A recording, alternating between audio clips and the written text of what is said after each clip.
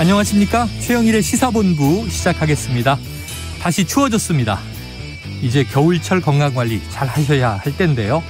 자, 그런데 추위를 타는 것도요, 어느 정도는 마음에 달려 있는 것 같습니다. 자, 어린 시절을 생각해보면 이 겨울철 집에 광이 있었죠. 이 광에 연탄이 그득 차 있고 쌀독에 쌀이 또 차 있으면 뭔가 든든했는데요. 연탄도 몇 장 안 남고 쌀독에 바닥이 보이면 이 부모님 얼굴에 수심이 가득하던 기억이 있습니다. 자, 지금 생각하면 이 연탄은 겨울을 따뜻하게 날 에너지고요. 또 쌀은 이 먹거리의 상징이겠죠. 지금도 마찬가지입니다. 나라의 살림, 가정의 살림에 따라서 올 겨울 민심과 서민 생활이 달려 있습니다. 자, 대통령의 해외 순방 이제 막바지인데요. 오늘 저녁에는 이제 시진핑 중국 국가 주석과 회담도 한다고 하죠. 자, 이미 바이든 미국 대통령과 시진핑 중국 국가 주석은 3시간이 넘는 마라톤 정상회의를 했습니다. 자, 들고 나온 사안마다 자국의 이익을 각자 바탕에 깐 복잡한 계산 속에서 밀고 당긴 그런 분위기였는데요. 자, 결과는 추후에 미중 관계를 지켜보면 확인이 되겠죠. 자, 우리도 순방 후 결산과 평가를 할 텐데 무엇보다도 살림의 보탬이 됐느냐? 이게 중요하다고 생각합니다. 김장철입니다. 배추값이 다소 내려가면서 우려했던 김장대란은 없다. 이런 기사도 나왔더군요. 자, 우리 지갑도 겨울 이 집에 틈이 있으면 추위가 파고 들듯이 지갑이 새는 곳이 없어야 할 텐데요. 자, 국회는 예산 심의 기간입니다. 장부 정리 잘할지 걱정입니다. 딱 두 주 남았습니다. 최영일의 시사본부 출발합니다.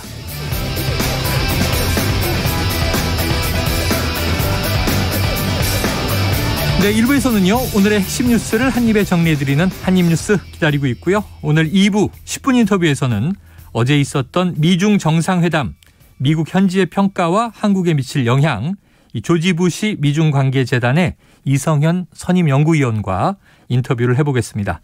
그리고 정치권 취재 뒷이야기를 들어보는 불사조 기자단, 그리고 IT본부가 준비되어 있습니다.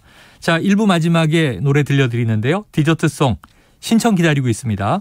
오늘 듣고 싶은 노래가 있으시면 문자 샵 9730으로 자유롭게 보내주시기 바라고요. 짧은 문자는 50원, 긴 문자는 100원입니다.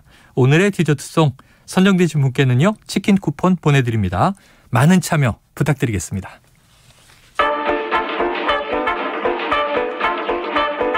최영일의 시사본부 한입뉴스 네, 오늘의 핵심 뉴스 한입에 정리해 드립니다. 한입 뉴스 박정호 오마이뉴스 기자, 헬마우스 임경민 작가 나와 계십니다. 어서 오세요. 안녕하세요. 안녕하십니까?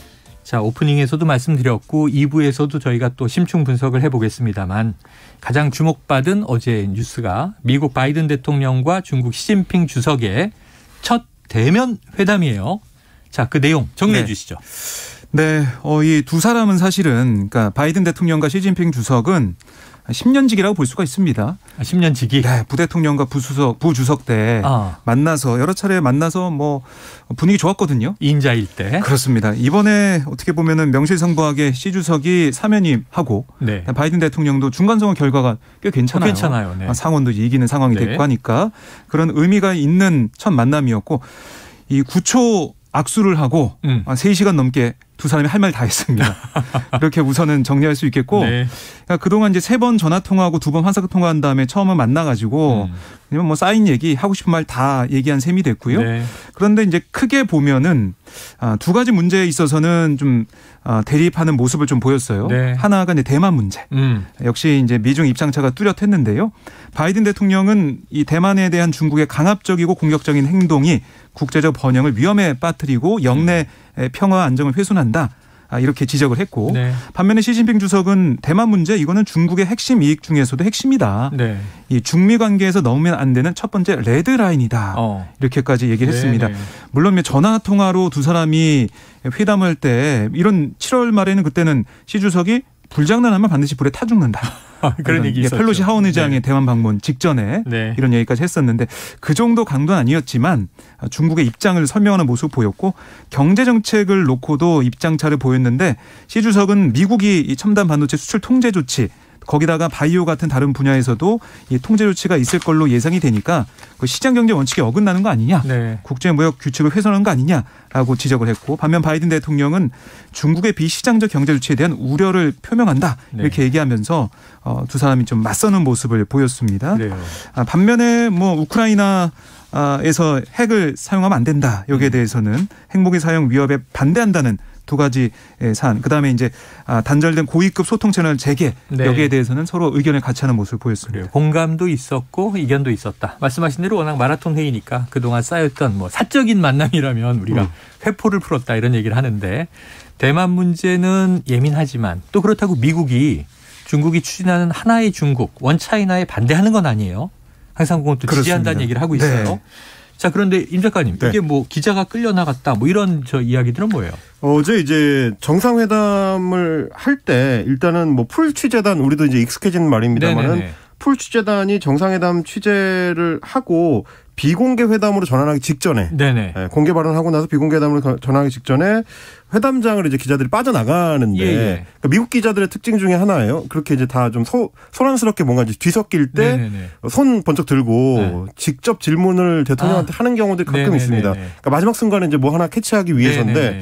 그때 이제 ABC 뉴스의 백악관 출입 프로듀서인 몰리 네이글이라는 이 네네. 어, 취재진이 음. 바이든 대통령한테 회담에서 인권 문제를 꺼낼 거냐라고 이게 아, 기습적으로 질문을 아, 한 거예요. 네네. 근데 이제 북한은 아저 중국의. 시진핑 주석 입장에서는 가장 불편한 소재고 그렇죠. 신장 위구르라든가 그렇습니다. 네. 가장 예민한 소재고 뭐 홍콩 문제나 신장 위구르 문제나 이런 거 그렇죠. 꺼내는 것 자체를 굉장히 꺼려하기 때문에 어, 발끈한 거죠. 그래서 중국 네네. 측에서 이 네이글 PD의 백팩을 붙잡고 아. 끌어내는 것 같은 그런 모양이 좀 펼쳐졌습니다. 중국 쪽의 보안 요원이 그렇습니다. 그러니까 이제 중국 측의 보안 요원이 이게 당겨버리니까 어. 이 사람이 막 쓰러질 것처럼 이렇게 비틀비틀하는 네네네네. 모습이 연출이 됐고 그렇게 직접적으로 신체 접촉이 일어나니까 이번에는 또 이제 백악관 지- 직원들 두 명이 나서가지고 우리 기자한테 손대지 마라 어, 말리고. 이렇게 또 말리고 네네. 이런 양상이 좀 펼쳐져 가지고 그만큼 음. 어, 안팎으로는 이 중국과 미국 양쪽이 이 첨예한 이슈에 대해서는 네. 양보가 없다는 거를 하나 또 보여준 어떤 그러네요. 장면이 아니었나 예. 이렇게 좀 보여집니다. 미중 간의 예민한 사안을 네. 그냥 보여주는 상징적인 장면이 나왔다. 뭐 결국에는 공동 기자회견이나 공동 성명 같은 합의 결과가 없었어요. 네네네. 그래서 미국하고 중국이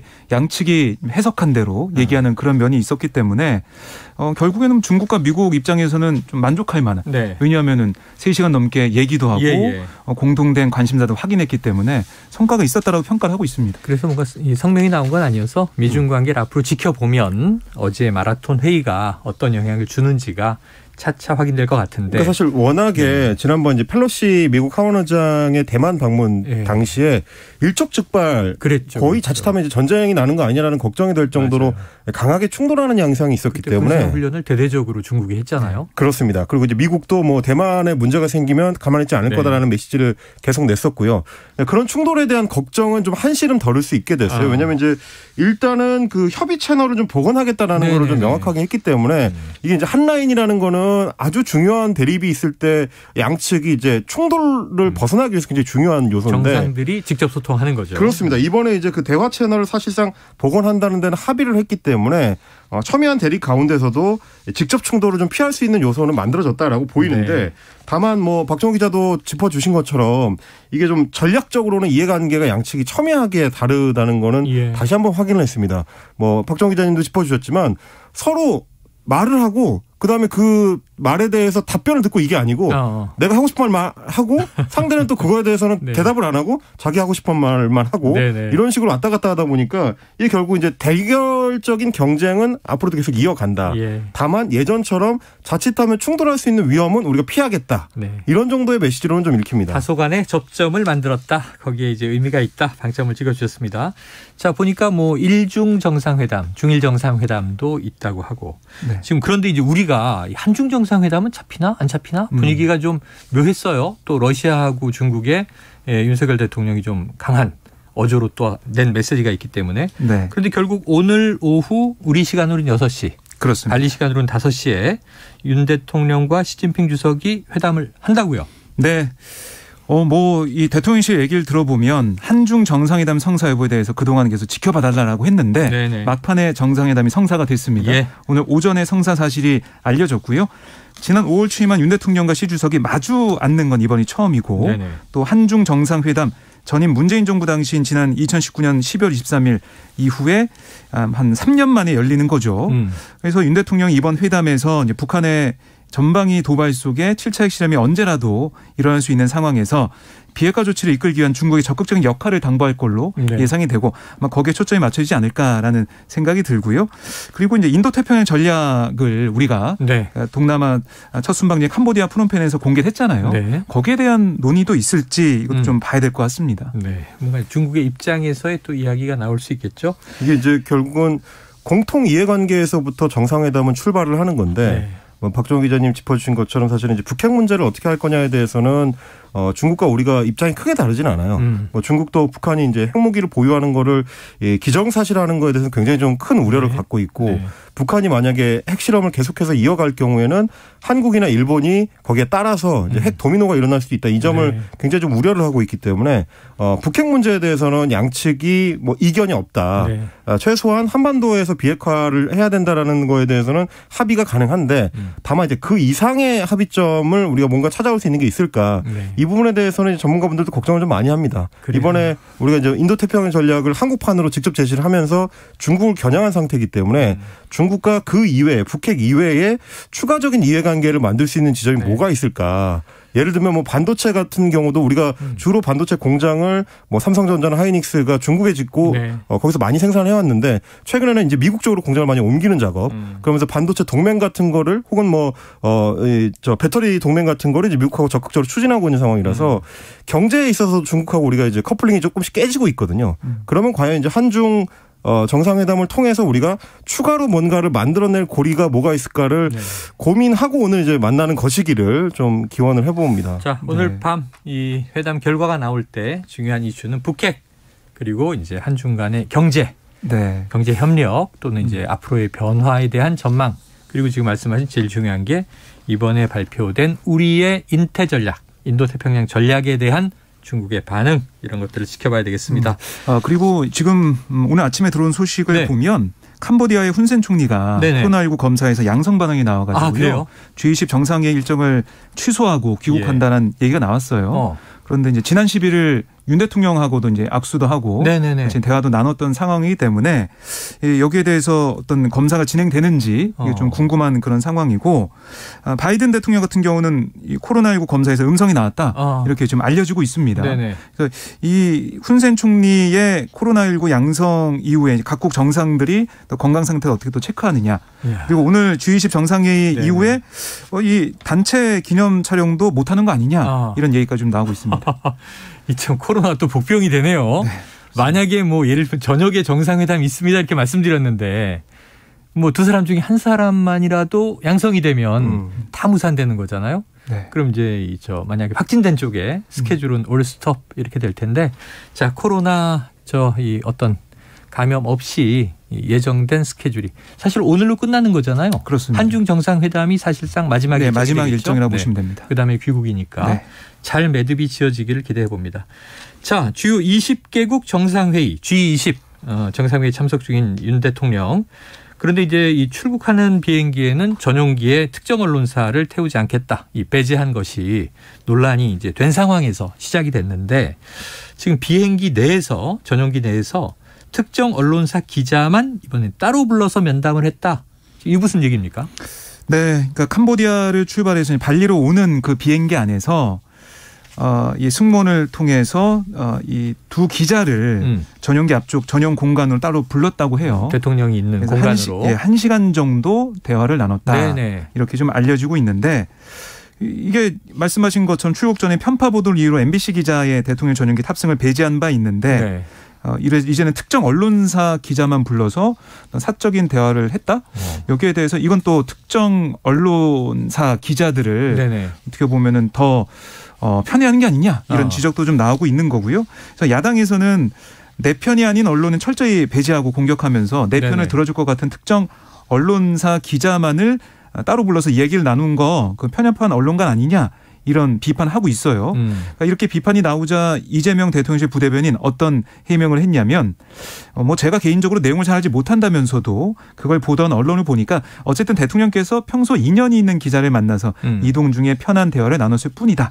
그러니까 취재와 무관하다는 걸 봤고 그럼 그게 뭐 크게 다르지 않다고 생각한다. 뭐 사적인 대화를 나눈 것일 뿐이다. 어. 이렇게 해명을 했습니다. 그럼 친분이 있는 사적 관계가 있는 아는 기자들을 따로 불러서 그렇습니다. 한 시간 정도 이야기를 했는데 이것은 뭐 간담회나 취재가 아니고 사적 대화다. 예, 뭐 원래 이제 친분이 있었다는 거고요. 이 두 기자 중에 한 기자는 지금 뭐 검사로 어, 지금 알려지고 있고 남편이. 예. 그렇습니다. 남편이 기자가 기자의 검사일 수는 남편이.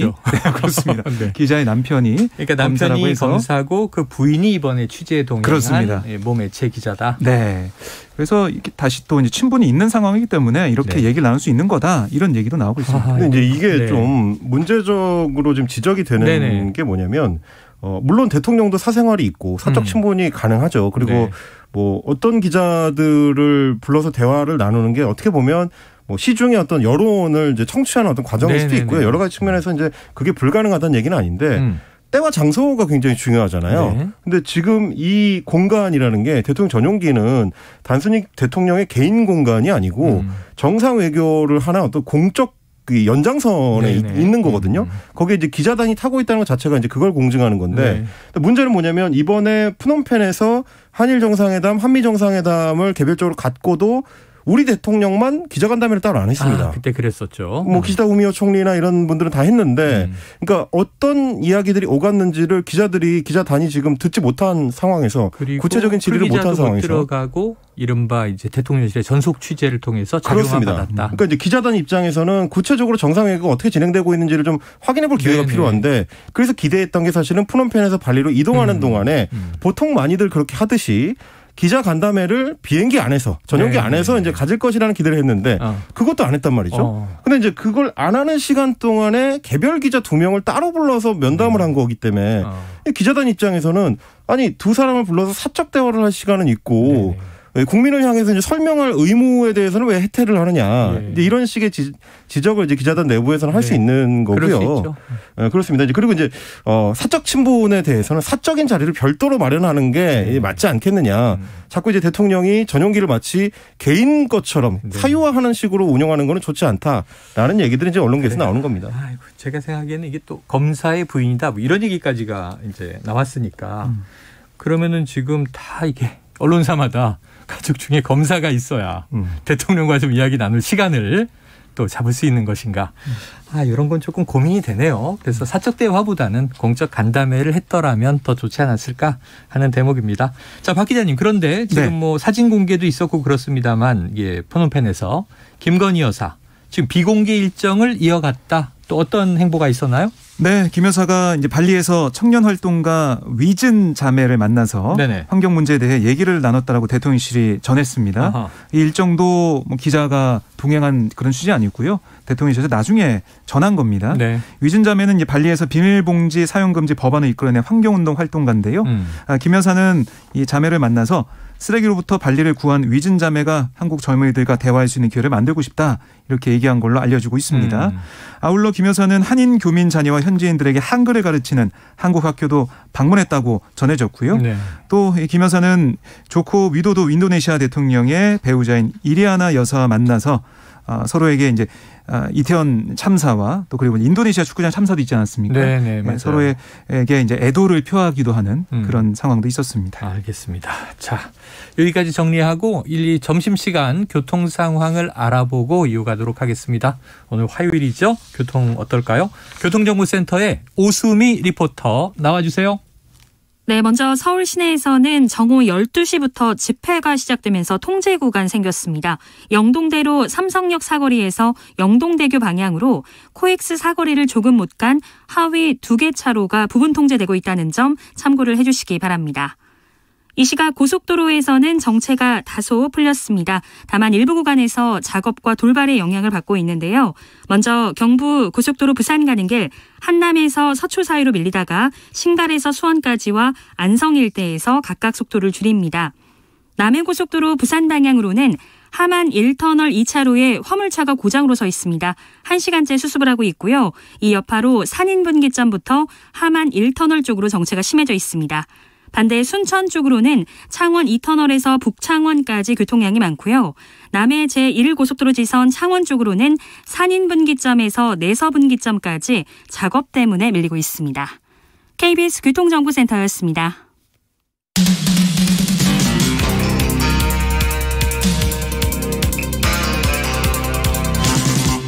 최영일의 시사본부. 네, 이번 소식은요. 검찰이 민주당 이재명 대표의 최측근이죠. 이 정진상 대표실 정무조정실장을 피의자 신분으로 소환했다. 자, 박 기자님, 조사가 이루어진 겁니까? 네, 지금 진행이 되고 있습니다. 오늘이군요. 네, 음. 정 실장이 오늘 오전에 서울 서초구 서울중앙지검에 이제 출석을 했는데요. 네. 오늘 원래 이제 취재진도 좀 대기를 하고 있었지만 어. 그러니까 로비를 이제 피해서 검찰에 비공개 소환을 좀 요청을 했어요. 네네. 그래서 비공개로 소환이 된 상황이고 뭐 혐의는 알려진 것처럼 2013년부터 2020년 성남시 정책비서관 경기도 음. 정책실장으로 재직하면서 유동규 전 성남도시개발공사 기획본부장 등 이 대장동 일당에게서 각종 청탁 명목으로 총 1억 4천만 원 금품을 수수한 혐의를 받고 있는 거고요. 네. 대장동 사업 특혜 제공 대가로 김만배 씨와 이제 보통주 지분 중 24.5%에 해당하는 음. 그러니까 이게 이제 세후로 치면 428억 원이라고 하는데요. 이걸 나눠 갖기로 약속한 혐의도 있고 음. 위례 신도시 개발 사업에서 비공개 내부 자료를 민간업자들에게 흘려서 거액의 이익을 챙기간 혐의 이런 것도 받고 있습니다. 여기다가 지난해 9월에 있었던 검찰의 압수수색 이게 좀 임박하자 유동규 전 본부장에게 휴대전화 창밖으로 던지라라고 음. 지시한 증거인멸 교사 혐의도 받고 있습니다. 네. 자, 그동안 뭐 많이 나왔던 얘기죠. 지금 김용 부원장도 구속 상태에서 수사를 받았는데 기소가 됐습니다만 네. 혐의를 이제 전면 부인을 했다는 거고 아마 이 정진상 실장도 오늘 뭐 혐의를 부인할 것 같은데 자, 이자 임 작가님 결국은 이 검찰의 최종 종착점 이재명 대표 관련 수사가 아닌가 지금 그렇게 가고 있는 겁니까? 뭐 그건 이제 사실상 예고가 돼 있다고 볼수 네. 있을 것 같습니다. 지난번에 좀 공개됐던 언론을 통해서 공개됐던 김용 부원장의 이제 공소장이라든지 음. 아니면 정진상 실장의 이제 압수수색 영장 같은 거를 내용적으로 보면 지금 계속 얘기가 되는 게 소위 말하는 이제 정치적 공동체라는 표현인데요. 뭐 이전에는 이제 박근혜 국정농단 사건 때는 어 최서원 씨하고 이제 박근혜 전 대통령을 묶어서 경제적 공동체다 네. 맞아요. 이렇게 표현을 했었습니다. 이런 얘기도 그렇습니다. 했었는데. 이제 그렇게 되면 최서원 씨가 받은 돈이 곧 아, 박근혜 전 대통령이 받은 돈과 이제 동일시 될 수 있기 음. 때문에 그런 표현을 그 당시에 특검이 썼던 건데 이번에 정치적 공동체라고 표현하는 거는 어, 아직까지는 검찰이 이재명 대표한테 직접 돈이 전달됐거나 네네. 혹은 뭐 그 비슷한 정황을 어, 찾아내지는 못하는 걸로 보이기 때문에 예. 그래서 이제 정진상 실장이나 아, 김용 부원장이나 혹은 유동규 전 본부장이 돈을 받으면 음. 이 정치적 공동체가 이재명 대표의 정치적 이익을 위해서 공동으로 그 돈을 사용했다라는 음. 일종의 논리를 만 들기 네네네. 위해서 이제 그 표현을 쓴 걸로 보이고요. 그렇게 되면은 결국 이재명 대표가 그 당시에 뭐 돈을 실제로 수수를 했다면 관련 내용을 알고 있었는지 여부, 네. 뭐 그게 어느 정도로 개입했는지 여부 이런 것들을 검찰이 확인하려고 할 네, 거고 네. 아마 그 과정에서는 민주당이나 이재명 대표 측과의 충돌을 검찰 피하기는 좀 어려워 보입니다. 그래요. 자, 공소장에 지금 뭐 이재명 대표가 뭐 소환되거나 지금 수사 대상 뭐 입건이 됐다 이런 얘기는 음. 아직 없습니다만 음. 공소장에는 또 이제 이 대표의 이름이 여러 차례 등장한다고 하니까 앞으로 이제 수사의 향방이 어떻게 되는지 지켜봐야 될 것 같고요. 자, 다음 이슈로 넘어가 보겠습니다. 이 소방공무원 노동조합, 소방공무원 노조가 어제 이상민 행, 행안부 장관 이 경찰청 특별수사본부에 그러니까 특수본에 직무유기와 업무상 과실치사상 혐의로 고발했다. 어떻게 된 내용입니까? 네, 이제 어제 오전에 이 노조에서 이 경찰청 특별수사본부에 이 장관에 대한 직무유기, 뭐 업무상 과실상 혐의로 이제 고발한 건데요. 그러니까 여기에 대한 이번 참사에 대한 책임 음. 이 장관에게 있는 게 법상으로도 분명한데 네. 여기에 대한 책임을 물어야 된다. 그러니까 수사를 촉구한 그런 상황이 되겠습니다. 아, 그런데 이 이걸 이제 접수한 특수본은 어떤 입장이냐면 지금 이 장관의 업무상 과실치사 혐의에 대해서는 직접 수사할 수 있는지 법리 검토를 한 끝에 직무유기 혐의와 함께 네. 모두 공수처에 통보하기로 결정을 했다라고 아, 얘기를 했어요. 공수처로 넘긴다. 그렇습니다. 예, 공수처법상 행안부 장관의 직무유기죄는 고위공직자 범죄에 해당하고 네. 또 고발장이 접수가 되면 공수처에 통보 의무가 있기 때문에 이렇게 통보를 하는 거다라고 설명을 했어요. 그래서 이 통보받은 공수처장이 직접 수사하겠다고 하면은 이첩하게 돼 있다라고 덧붙였는데요. 네네. 공수처장은 60일 이내에 직접 수사 여부를 경찰에 회신해야 되는 그런 어. 상황이 되겠습니다. 저- 물론 물론 네. 이게 이제 법리상으로 보면은 음. 특수본에서 이런 조치를 할 수는 있습니다. 네네네. 뭐 행안부 장관을 비롯해서 뭐 1급 공무원 누구든지 간에 이제 그걸 할 수 있는데 1급 이상 공무원이라면 뭐 공수처가 존재하니까 그렇습니다. 고위공직자라면 할 수는 있는데 다만 이제 국민들이 봤을 때는 음. 특수본이 장관을 비롯해서 이제 이 사안에 대해서 책임이 있는 책임자급의 고위 인사들에 대한 수사 의지가 있느냐 아, 이 부분에 또 의문을 품을 수밖에 없어요. 떠넘기는 거 아니냐? 그렇습니다. 지금 이제 박정 기자님이 질- 정리를 해주신 것처럼 60일 이내에 공수처장이 답하도록 돼 있는데 예. 그럼 또 시간을 벌게 되는 거지 않습니까? 이게 이제 특수본 입장에서 봤을 때는 어. 뭐 하기 싫은 수사라고 하면 일단 공수처에 의뢰를 해가지고 다시 돌아오는 시간을 충분히 계산했을 때는 네네. 아 이게 계속 좀 미뤄둘 수 있는 측면으로 음. 보이는 게 또 있어요. 시간을 끌 수도 있고. 그렇습니다. 그러니까 이 사안은 지금 이제 특수본이 처음부터 수사를 해가지고 전체적인 수사 맥락을 지금 장악하고 있는 상황인데 네네. 굳이 여기서 행안부 장관의 책임 소재만 따로 떼가지고 네. 이 공수처로 넘긴다 그러면 공수처는 수사를 처음 다시 해야 되거든요. 근데 이런 문제를 종합적으로 어. 봤을 때 지금 특수본이 그러네요. 많은 언론 매체에서 지적하듯이 옆으로만 퍼지는 수사를 하고 어. 위로 올라가는 수사를 안 하려고 하는 거 아니냐 네네. 이런 의혹을 좀 가질 수밖에 없는 맥락이 아닌가 또 싶습니다. 시간은 흐르는데 나오는 게 없다. 근데 음. 예를 들면 이제 여당의 뭐 주호영 원내대표 입장에서는 수사가 미진하면 뭐 국정조사나 특검도 갈 수 있는데 그렇습니다. 네. 아직은 시기상조다. 이런 또 정치권 공방이 있으니까. 근데 제가 생각해 보니 기억 제 기억에는 공수처가 경무관급 이상 경찰도 대상으로 하잖아요. 맞아요. 그러면 지금 뭐 경찰 수뇌부도 수사해야 된다라는 이제 목소리고 그러면 건데 경찰청장이나 뭐 김광호 서울청장도 다 공수처를 일단 넘겨야 됩니다. 것이냐. 지금 요번 결정에 그렇습니다. 따른다면 그럼 뭐 행안부 장관은 공수처로 넘기는데 경찰 수뇌부는 그냥 특수본이 수사한다. 이것도 좀 이상하잖아요. 그렇죠. 뭐 이- 결국에 네. 이제 꼬리 자르기 수사 어. 논란이 계속 있는 그런 상황인데 아이고. 특수본에서 이렇게 이제 공수처로 넘기는 모양새가 됐기 때문에 네. 여기에 대한 비판이 계속 나올 것 같습니다. 자, 이런 상황에서 특수본이 또 이 서울 용산 경찰서에 정복과장을 불러서 조사한다. 이건 어떤 내용입니까? 네, 그러니까 이게 헬로윈 기간 전인 지난달 26일 인파가 몰려서 안전사고가 발생할 수 있다 이런 내용의 보고서를 용산서 정복과에서 만들었는데 네네. 이게 정복과장이 참사 이후에 보고서를 삭제하도록 지시 회유한 혐의를 받고 있는 거예요. 네네.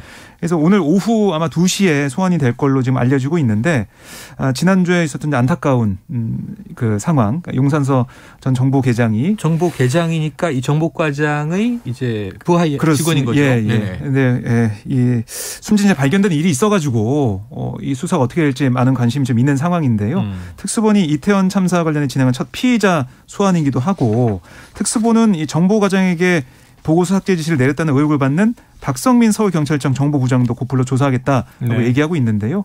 그래서 이 특수본에서는 이 내용의 보고서가 어떻게 이렇게 삭제가 되고 음. 다시 사라지게 됐는지 여기에 대해서 좀 집중하고 있는 그런 모습입니다. 네. 여기다가 정보과 직원들, 용산서 112 상황실 직원, 용산구청, 또 서울종합방재센터와 용산서머서 직원들에 대해서도 참고인 수사를 진행할 예정입니다. 네. 자, 또 어제는 한 온라인 매체가요. 이번 이태원 참사 희생자의 명단을 공개해서 이게 또 좀 사회적으로 찬성, 반대, 논란, 충돌이 되고 있는데 이거 어떻게 된 사안입니까? 어제 이제 시민 언론 민들레라는 매체에서 네. 이 명단 155명 희생자 들의 이제 이름을 공개하는 조치를 했는데요.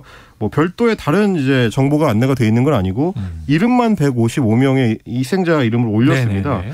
어 그러면서 이제 이게 공개하는 이유로 밝힌 이유가 음. 희생자들의 실존을 느낄 수 있게 해주는 최소한의 이름만이라도 공개하는 게 뭐 진정한 애도와 책임 규명에 기여하는 길이라고 판단했다. 이렇게 이제 입장을 밝혔습니다. 네. 어 그리고 이제 그동안에 이제 유가족 협의체가 구성되지 않았기 때문에 유고 유족들한테 이제 동의를 구하지 못한 점에 대해서는 이제 깊이 양해를 구한다라고 덧붙였는데 네. 어, 이 사안과 관련해서는 사실은 뭐 국민의힘 여당을 비롯해서 야당 내에서 정의당에서도 이렇게 원하지 않는 유가족들까지 포함해서 음. 일방적으로 공개를 강행하는 거에 대해서는 쉽게 좀 깊은 우려를 나타내는 경우들이 많았고요. 문제가 있다. 그렇습니다. 뭐 이제 트라우마 전문가 분들도 계속 이야기하는 게 어, 유가족들 같은 경우는 이렇게 이제 사회적으로 이슈가 되고 음. 이름이 공개돼서 어, 그걸 보게 되는 것만으로도 이제 큰 정서적인 충격을 받을 수가 있기 네네. 때문에 그 부분에 대해서는 당연히 양해를 먼저 구하는 게 우선이어야 했다라는 점들을 좀 지적을 하고 있고요. 네. 그리고 사실은 이 사안에 대해서는 민주당 내부에서도 어, 국회의원들이 좀 몇몇 이야기를 한 경우가 있었는데 음. 그때도 이제 강조했던 거는 유가족들의 동의를 얻은 상태에서 이제 어, 공개를 하는 것. 이 점을. 강조했었는데 네. 어제 민들레의 이제 조치 같은 경우는 어, 유가족들 동의 가 없는 상태에서 됐기 때문에 네. 뭐 이거는 일종의 아우팅이 아니냐 이제 이런 아. 얘기도 나오고요. 민주당 내에서도 다소 곤혹스러워한다 라는 네. 전언들이 지금 있는 상황입니다. 그래요. 그래서 보니까 이제 민변 같은 단체에서도 이게 권리 침해 우려가 있다 이렇게 얘기를 했는데 또 제가 지금 SNS를 보면 법조인들도 의견이 다 달라서 그렇습니다. 이게 개인정보보호법에 해당하는 거냐 아니다 맞다 지금 뭐 조금 정리가 돼야 될 것 같습니다. 이게 이제 음. 단순 이름만 있기 때문에 네네. 엄밀히 따지면 이제 그 이름만으로는 누군지 알기는 좀 어렵거든요. 아, 보통은 이제 뭐 주민번호라든가 그렇죠. 뭐 사는 뭐 지역이라든지 뭐 전화번호라든가 학교라든지 뭐 이런 게 이제 같이 표기가 됐다면 그렇지만 근데 이제 바, 그걸 반대로 뒤집어 생각을 해보면 네. 그러면 굳이 누군지 식별하기 어려운 이름만 공개하는 이유는 뭐냐 이제 이런 또 질문에 부딪힐 수밖에 없는 거라서 이 부분은 상당히 좀 사안에 이제 폭발성이 있는 거라 음. 네. 정치권 내에서도 좀 논쟁이 좀 벌어지게 될 것 같습니다. 그래요. 그래서 과거에는 보통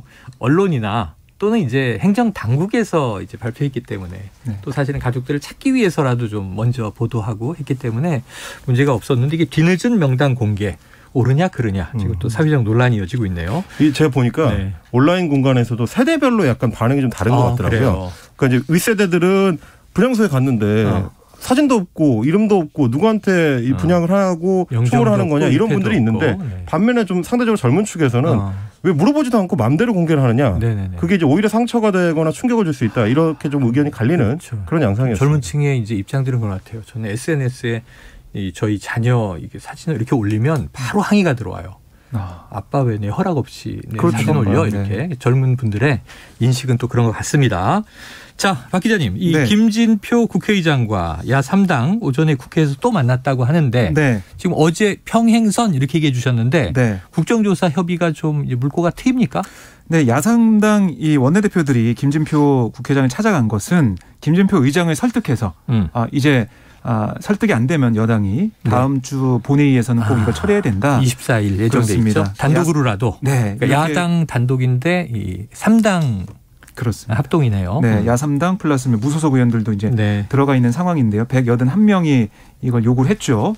그래서 결국에는 오늘 어, 이 가이드라인이 나왔어요. 이번 주까지만 여당을 설득하겠다. 음. 왜냐하면 다음 주 24일 본회의에서 국정조사 처리하려면 특위 위원도 명단도 확정해야 되고 이런 준비할 네. 게 있기 때문에 물리적으로 이번 주말까지 국민의힘을 설득하겠다. 어. 그 이후에는 김진표 의장이 결단을 좀 해달라 이렇게 어. 얘기를 하고 있는 겁니다. 알겠습니다. 자, 오늘 한입 뉴스는 여기서 정리하겠습니다. 지금까지 박정호 오마이뉴스 기자, 임경빈 작가였습니다. 수고하셨습니다. 고맙습니다. 자, 오늘의 디저트송 신청이 들어와 있네요. 청취자 3226님, 고등학교 교사입니다. 이제 D-2. 자, 바로 수능입니다. 수능. 우리 수험생들 수능 대박하길 기대기대 합니다. 특히 우리 경주 예일고등학교 제자들 잘 찍고 잘 풀고 잘 치르길 기도하는 마음입니다. 경주 예일고 가자 이렇게 해주셨습니다. 자 모든 지금 수험생과 그 부모님 가족 선생님들이 바람하지 않는 기원이겠죠. 들국화의 걱정 말아요 그대 전국의 모든 수험생에게 드리는 응원으로 들려드리고요. 저는 입으로 돌아옵니다.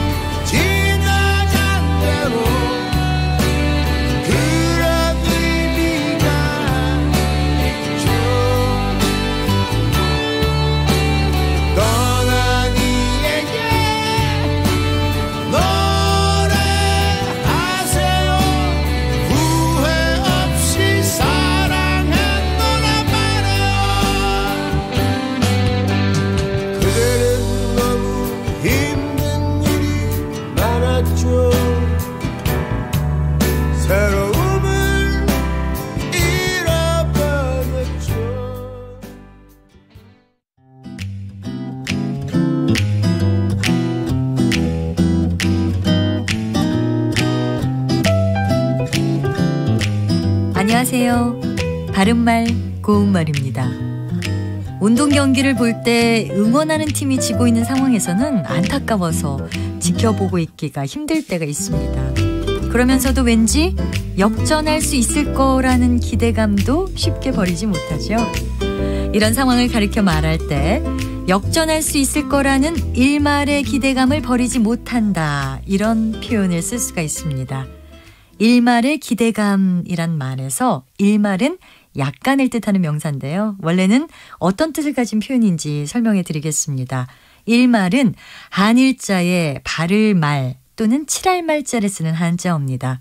주로 일말의라는 형태로 쓰여서 한 번 바르거나 지우는 정도란 뜻으로 얼마 되지 않는 정도를 나타내죠. 보통 일말의 동정심이라든지 일말의 불안감 또는 일말의 양심 같은 표현으로 많이 사용하고 있습니다. 일말에 나오는 한자 바를 말이 사용된 다른 표현을 좀 살펴보자면 말소를 줄 수가 있는데요. 이것은 기록되어 있는 사실 따위를 지워서 아주 없애버림을 뜻하고 보통 주민등록이 말소되다 같이 표현합니다. 그리고 있는 사물을 뭉개어서 아주 없애버림을 뜻하는 표현 말살도 있지요. 이것은 일제강점기에 일본이 우리나라에서 행했던 민족 말살 정책을 그 대표적인 예로 들 수가 있겠습니다. 말소와 말살은 모두 뭔가를 없애버린다는 뜻을 공통으로 하고 있습니다. 바른말 고운말 아나운서 변희영이었습니다.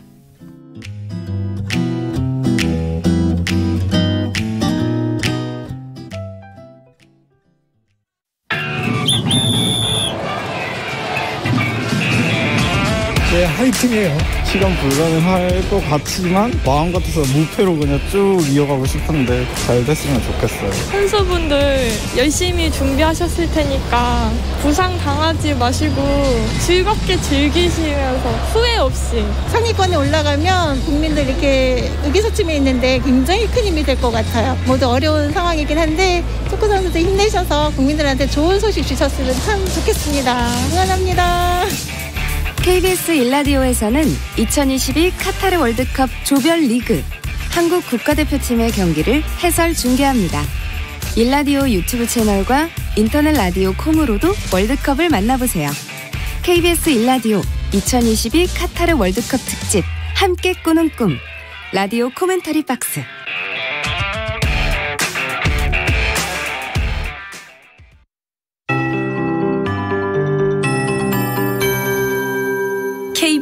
58분 날씨. 한낮인데도 쌀쌀합니다. 오늘 낮 최고 기온이 서울 13도, 대전, 광주 15도, 강릉, 대구 16도, 부산, 제주 17도 등으로 어제와 비슷하거나 조금 낮겠고요. 중부지방은 바람이 점차 강하게 불면서 체감 온도가 더 떨어지겠습니다. 지금 남부지방과 제주도는 대체로 맑지만 중부지방은 구름이 많이 껴 있습니다. 북쪽을 지나는 비구름의 영향으로 경기 서해안과 서해 5도에는 약한 비도 내리고 있는데요. 차츰 서울 등 수도권과 강원 영서에도 비가 오는 곳이 있겠고 밤까지 강원 영동을 제외한 중부 지방에 1mm 안팎의 적은 양의 비가 가끔 내리겠습니다. 그중 경기 북부와 강원 영서의 높은 산지에는 비가 눈으로 내리면서 조금 쌓일 수 있겠고요. 전북과 경북 지역에도 빗방울이 떨어지는 곳이 있겠습니다. 내일부터는 전국의 하늘이 맑아지겠고 주말까지 대체로 맑은 날씨가 이어지겠습니다. 내일은 수능 예비 소집일이고 모레 목요일은 대학 수학 능력 시험일인데요. 이번 주 내내 예년 이맘때 기온을 보이면서 수능 한파는 없겠습니다. 다만 늦가을인 만큼 아침 기온은 영하 1도에서 9도 분포로 다소 추워 옷차림을 따뜻하게 하셔야겠고요. 큰 일교차도 주의하셔야겠습니다. 현재 서울의 기온은 12.1도입니다. 송소진입니다.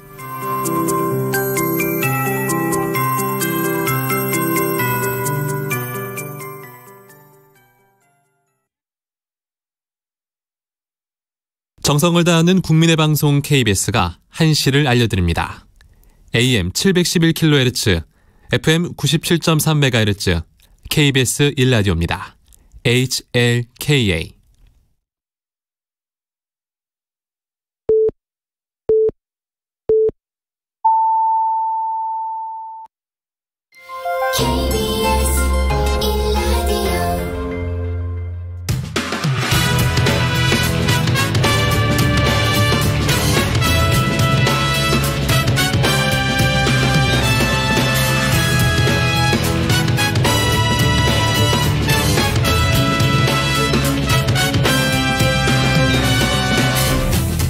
KBS 일라디오 최영일의 시사본부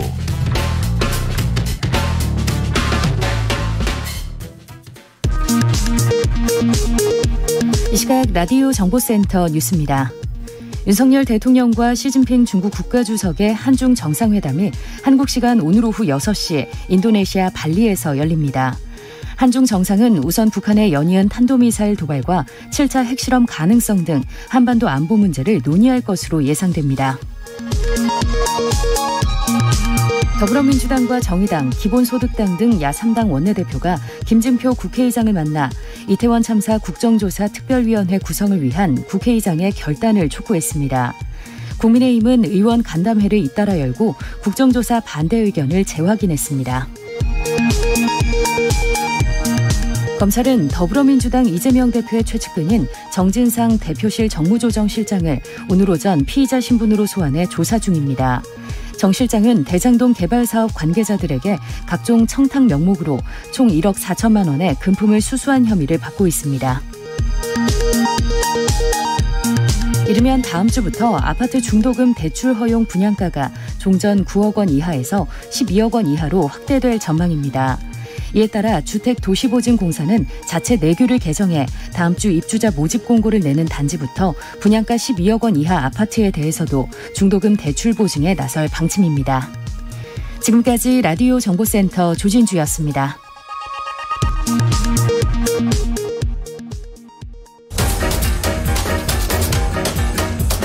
최영일의 시사본부 10분 인터뷰. 네, 바이든 미국 대통령과 시진핑 중국 주석이요. 어제 발리에서 첫 대면 정상회담을 가졌다. 일부에서 소식 전해드렸습니다. 여러 입장 차이는 좁혀지지 않았지만 적어도 최악의 충돌을 피하자는 데는 공감을 했다고 하죠. 자, 미국에서는 어떤 반응이 나오고 있는지 현지에 계신 전문가를 연결해서 이야기 들어보겠습니다. 조지 부시 미중 관계재단의 이성현 선임 연구위원님을 전화로 연결합니다. 자, 위원님 나와 계시죠? 네, 안녕하세요. 이승현입니다. 네, 자, 이 늦은 시간에 연결 감사합니다. 현지 시간은 지금 몇 시인가요? 예, 워싱턴 기준으로 지금 밤 11시입니다. 아, 감사합니다. 자, 지금 이 조지 부시 미중 관계 재단에 계시는데 어떤 기관입니까?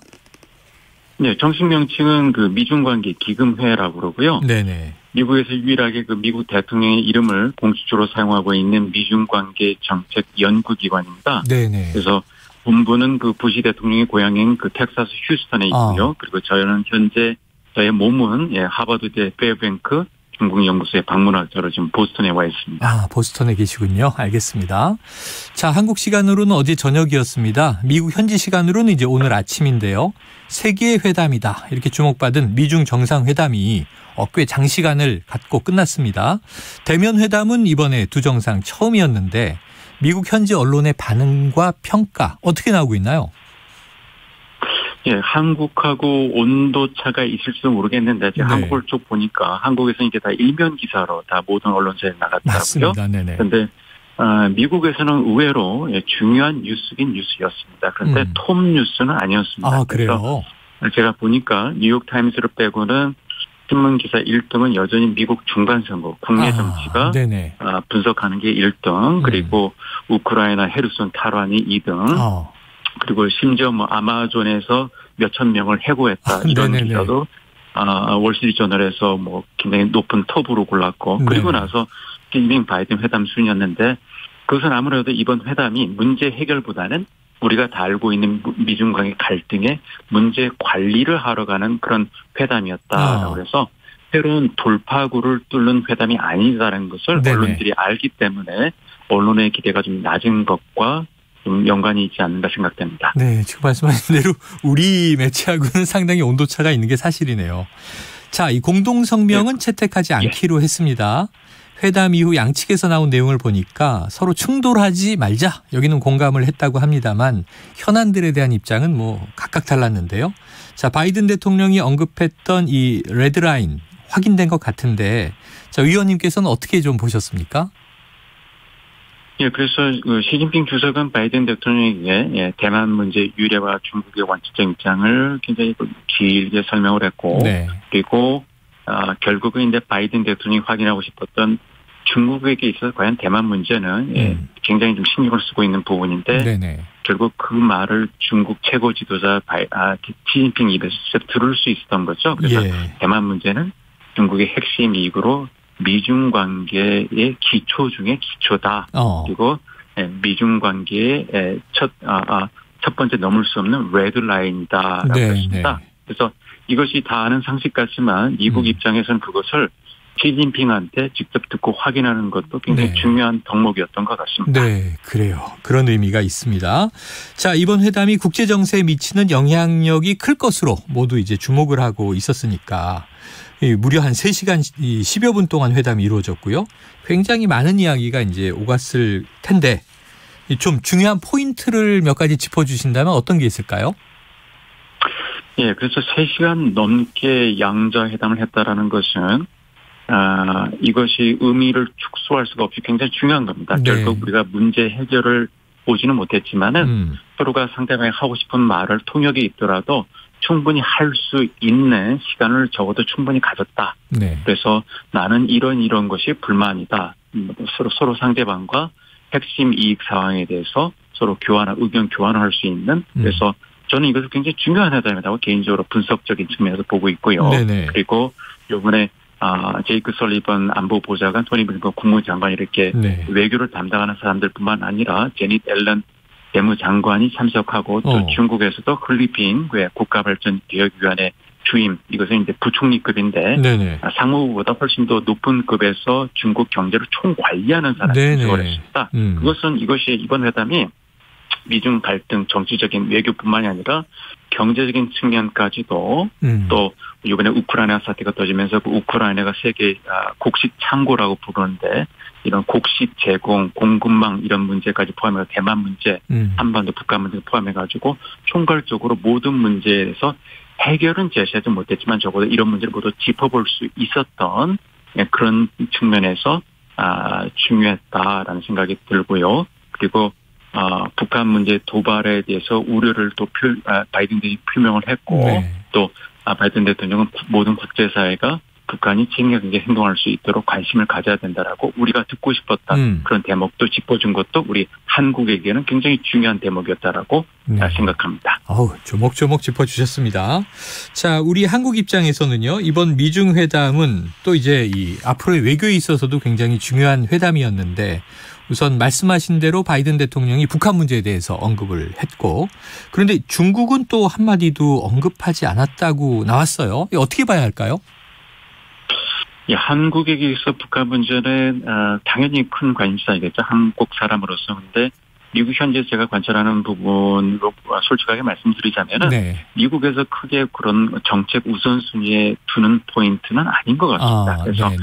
바이든이 아시아를 방문했고 아시아에서 한미일 정상회담을 했고 음. 그리고 그 기간에 북한의 도발 타이밍이 겹쳤고 음. 그러니까 공동성명에서 북한 관련 표현이 우리가 필요한 그런 부분이 당연히 들어가고 기대했던 것이 들어갔지만은 네.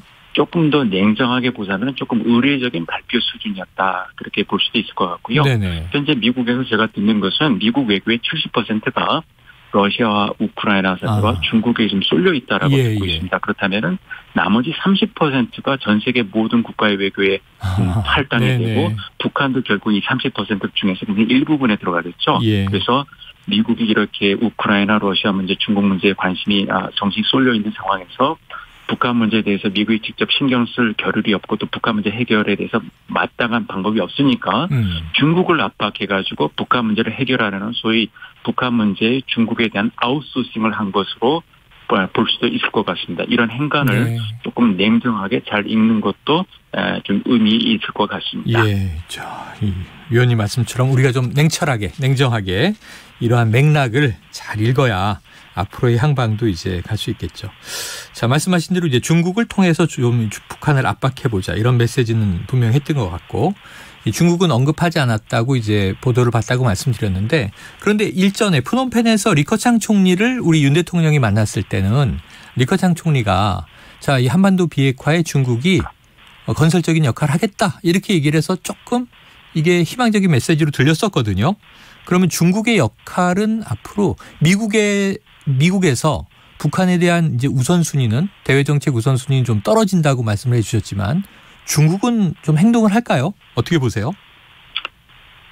중국은 예, 리커장 총리가 한 한반도 문제에서 건설적인 역할을 하겠다라는 것은 매번 만날 때마다 하는 얘기입니다. 아. 그렇기 때문에 네. 새로운 얘기가 아니고 네. 또 한국 측을 만나면 당연히 우리가 듣고 싶어하는 말이니까 해야 되겠죠. 음. 그리고 또한 가지는 리커장 총리는 요번에 이제 퇴임하는 그런 총리죠. 네네. 그렇기 때문에 우리가 그, 그분의 말씀이 중요하긴 하지만은 아, 시진핑의 새로운 인사들을 고수하는데 새로운 외교 진영의 그런 현 인- 중요한 인사들의 발언을 더욱더 지켜봐야 될 것 같고요. 네. 그리고 아 지금 중국과 아, 어떻게 보면 이제 그 아, 북한 문제는 미중 관계에 있어서 미중 아, 아, 신뢰의 상징으로 여겨지는 그런 아, 아. 성격이 좀 있었습니다. 네네. 그런데 아, 미중 관계가 좀 구조적으로 악화되고 있는 상황에서 아, 중국이 북한 문제에 대해서 이전처럼 미국과 협력하는 모습을 보- 보일 것이다라고 기대하는 것은 조금 아닌 것 같고요. 음. 네네. 오히려 신냉전 구도가 굳혀지고 있다 이런 말도 아. 나오고 있는 상황에서 예. 오히려 어, 과거 신냉전처럼 북중러 관계, 북한, 중국, 러시아의 관계가 더더 공고히 되고 또 네. 반대로 아, 미국, 한국, 일본 이런 삼각관계, 삼각관계가 서로 대립하는 그런 신냉전 구도가 더욱더 굳혀질 가능성이 더 많다라고 보고 있습니다. 네, 알겠습니다. 아우, 말씀하신 대로 지금 뭐 북한에 대한 중국의 역할보다 북중러 한미일 신냉전 구도가 오히려 더 강화되고 있는 과정이다. 자, 이 뭐 회담을 좀 정리해 보면 미중 갈등이 앞으로 좀 충돌하지 않게 하겠다. 해법은 없지만 말씀하신 대로 문제 관리의 방점이 찍혀 있었다. 양국의 입장이 나왔습니다만 갈등은 뭐 쉽게 봉합되거나 풀리진 않겠죠. 자, 그런데 이런 그 미중 갈등이 이어지는 상황에서 우리 한국은 어떤 포지션을 취해야 한다라고 보세요? 음, 아, 굉장히 중요한 아, 질문인데요. 네. 어, 우리는 아, 한국은 미국과 도장을 찍은 군사 동맹입니다. 네네.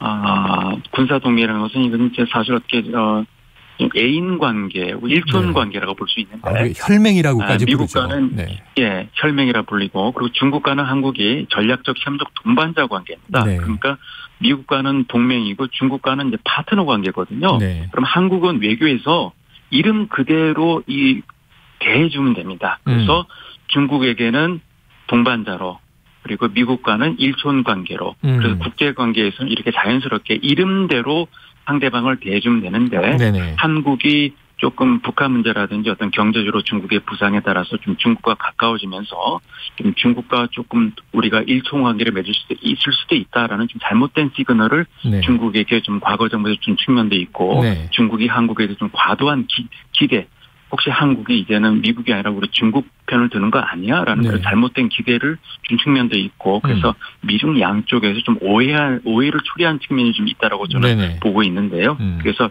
좀 일관적으로 미중 관계에 있어서 미국은 아, 동맹이고 우리가 중국과는 정치 제도가 틀리지만 중국과도 사이좋게 우호적인 관계를 맺고 싶다라는 어떤 원론적인 네네. 입장을 정부가 아, 바뀌더라도 일관적인 메시지를 보내는 것이 굉장히 중요하다라고 보고 있습니다. 네. 자, 그런데 위원님 이번에 우리 윤 대통령이 이제 이 프놈펜에서 어, 인태 전략을 발표했어요. 이제 인도 태평양 전략인데 네. 이게 뭐 지금이 지금 미국이 주도하고 일본은 또 오래 전부터 이제 주창하던 것이고 그래서 이 미국과 일본의 인도 태평양 전략 이게 이제 대중국 견제 전략으로 해석이 되는데 우리가 좀 너무 앞서서 보조적인 역할을 수행하는 것 아니냐 이런 우려도 일부 비판적으로 나옵니다. 어떻게 보십니까?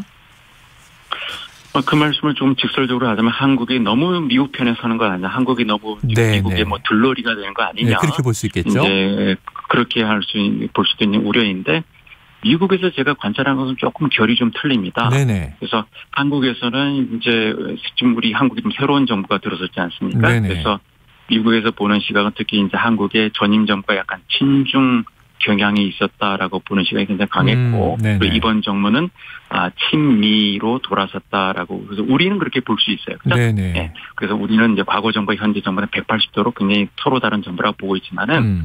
미국에서는 지난 수년간 형성된 어떤 한국 정부에 대한 어떤 부정적인 좀 인식이 아직도 좀 고착된 측면이 있습니다. 네네. 그래서 이런 인식이 바뀌려면은 좀 시간이 필요할 것 같아요. 네. 예를 들어서 얼마 전에 카말라 해리스 미국 부통령이 한국을 방문했을 때 네네. 한국이라고 말해야 될 부분에 대해서 North Korea 북한이라고 말을 한 적이 있습니다. 아, 그래요? 그만큼 예, 우리한테는 좀 믿, 믿기지 않을지 모르겠지만 제가 예. 미국에서 생활을 해보니까 미국 어, 정치인들 중에서는 어. 북한과 한국을 아직 좀 착각하는 사람이 있고 네. 그래서 이런 아이고. 한국에서 뭐 정, 예, 정권이 바뀌었지만은 그것이 그냥 한국 정부지 네, 네. 한국 정부가 뭐 예, 친중이다 뭐 미중이다 또 미국의 한미 동맹이 강화됐다 음. 이런 것은 현 현직 그 외교관들은 날 인식하고 있지만은 네. 외교에 굉장히 큰 영향을 준 미국 정치인들은 한국 정부가 지금 한미 동맹을 강화하고 있다라는 것을 네. 아직 잘 캐치하지 못하고 있는 그런 아. 인식의 전환에 좀 시간이 걸리고 있습니다. 네, 그래서 네. 아직도 미국 일각에서는 한국은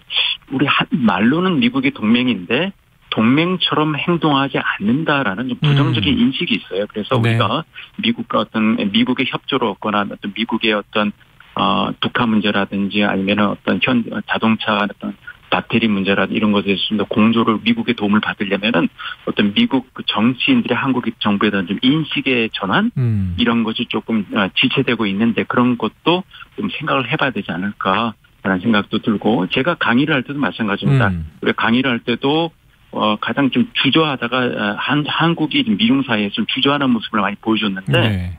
이렇게 강의를 할 때도 가장 먼저 손드는 학생의 눈이 가지 늦게 손드는 학생은 아. 제가 기억을 못 하거든요. 네네네. 그렇기 때문에 한국이 미중 사이에서 자꾸 선택을 해야 될 때 주저하는 모습을 보이지 말고 아. 가끔 좀 결기 있게. 행동하는 것도 좀 필요할 것 같습니다. 알겠습니다. 자, 끝으로 짧게 한 가지만 여쭤볼게요. 오늘 저녁에 이제 한중 정상회담이 예정돼 있다 보니까 사실은 한중 관계가 그동안 좀 멈춰 있었다 또 이런 측면이 있어서 음. 어떻게 해야 된다고 보세요? 아까 동반자로서 대우하는 게 옳다 이렇게 말씀 주셨는데.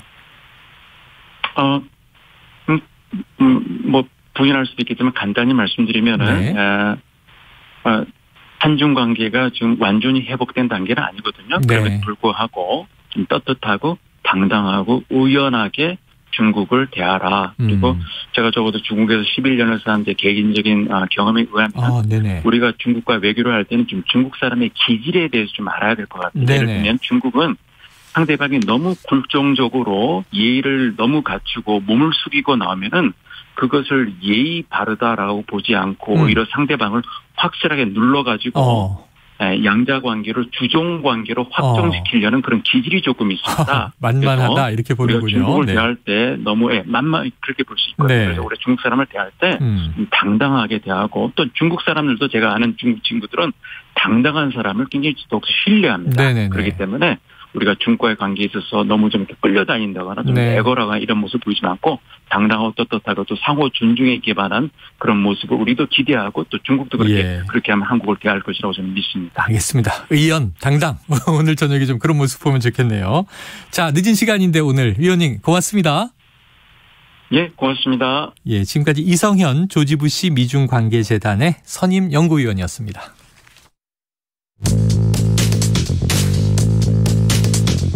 최영일의 시사본부는 여러분과 함께합니다. 짧은 문자 50원, 긴 문자 100원이 드는 샵 9730. 라디오 어플 콩과 유튜브는 무료로 참여하실 수 있습니다.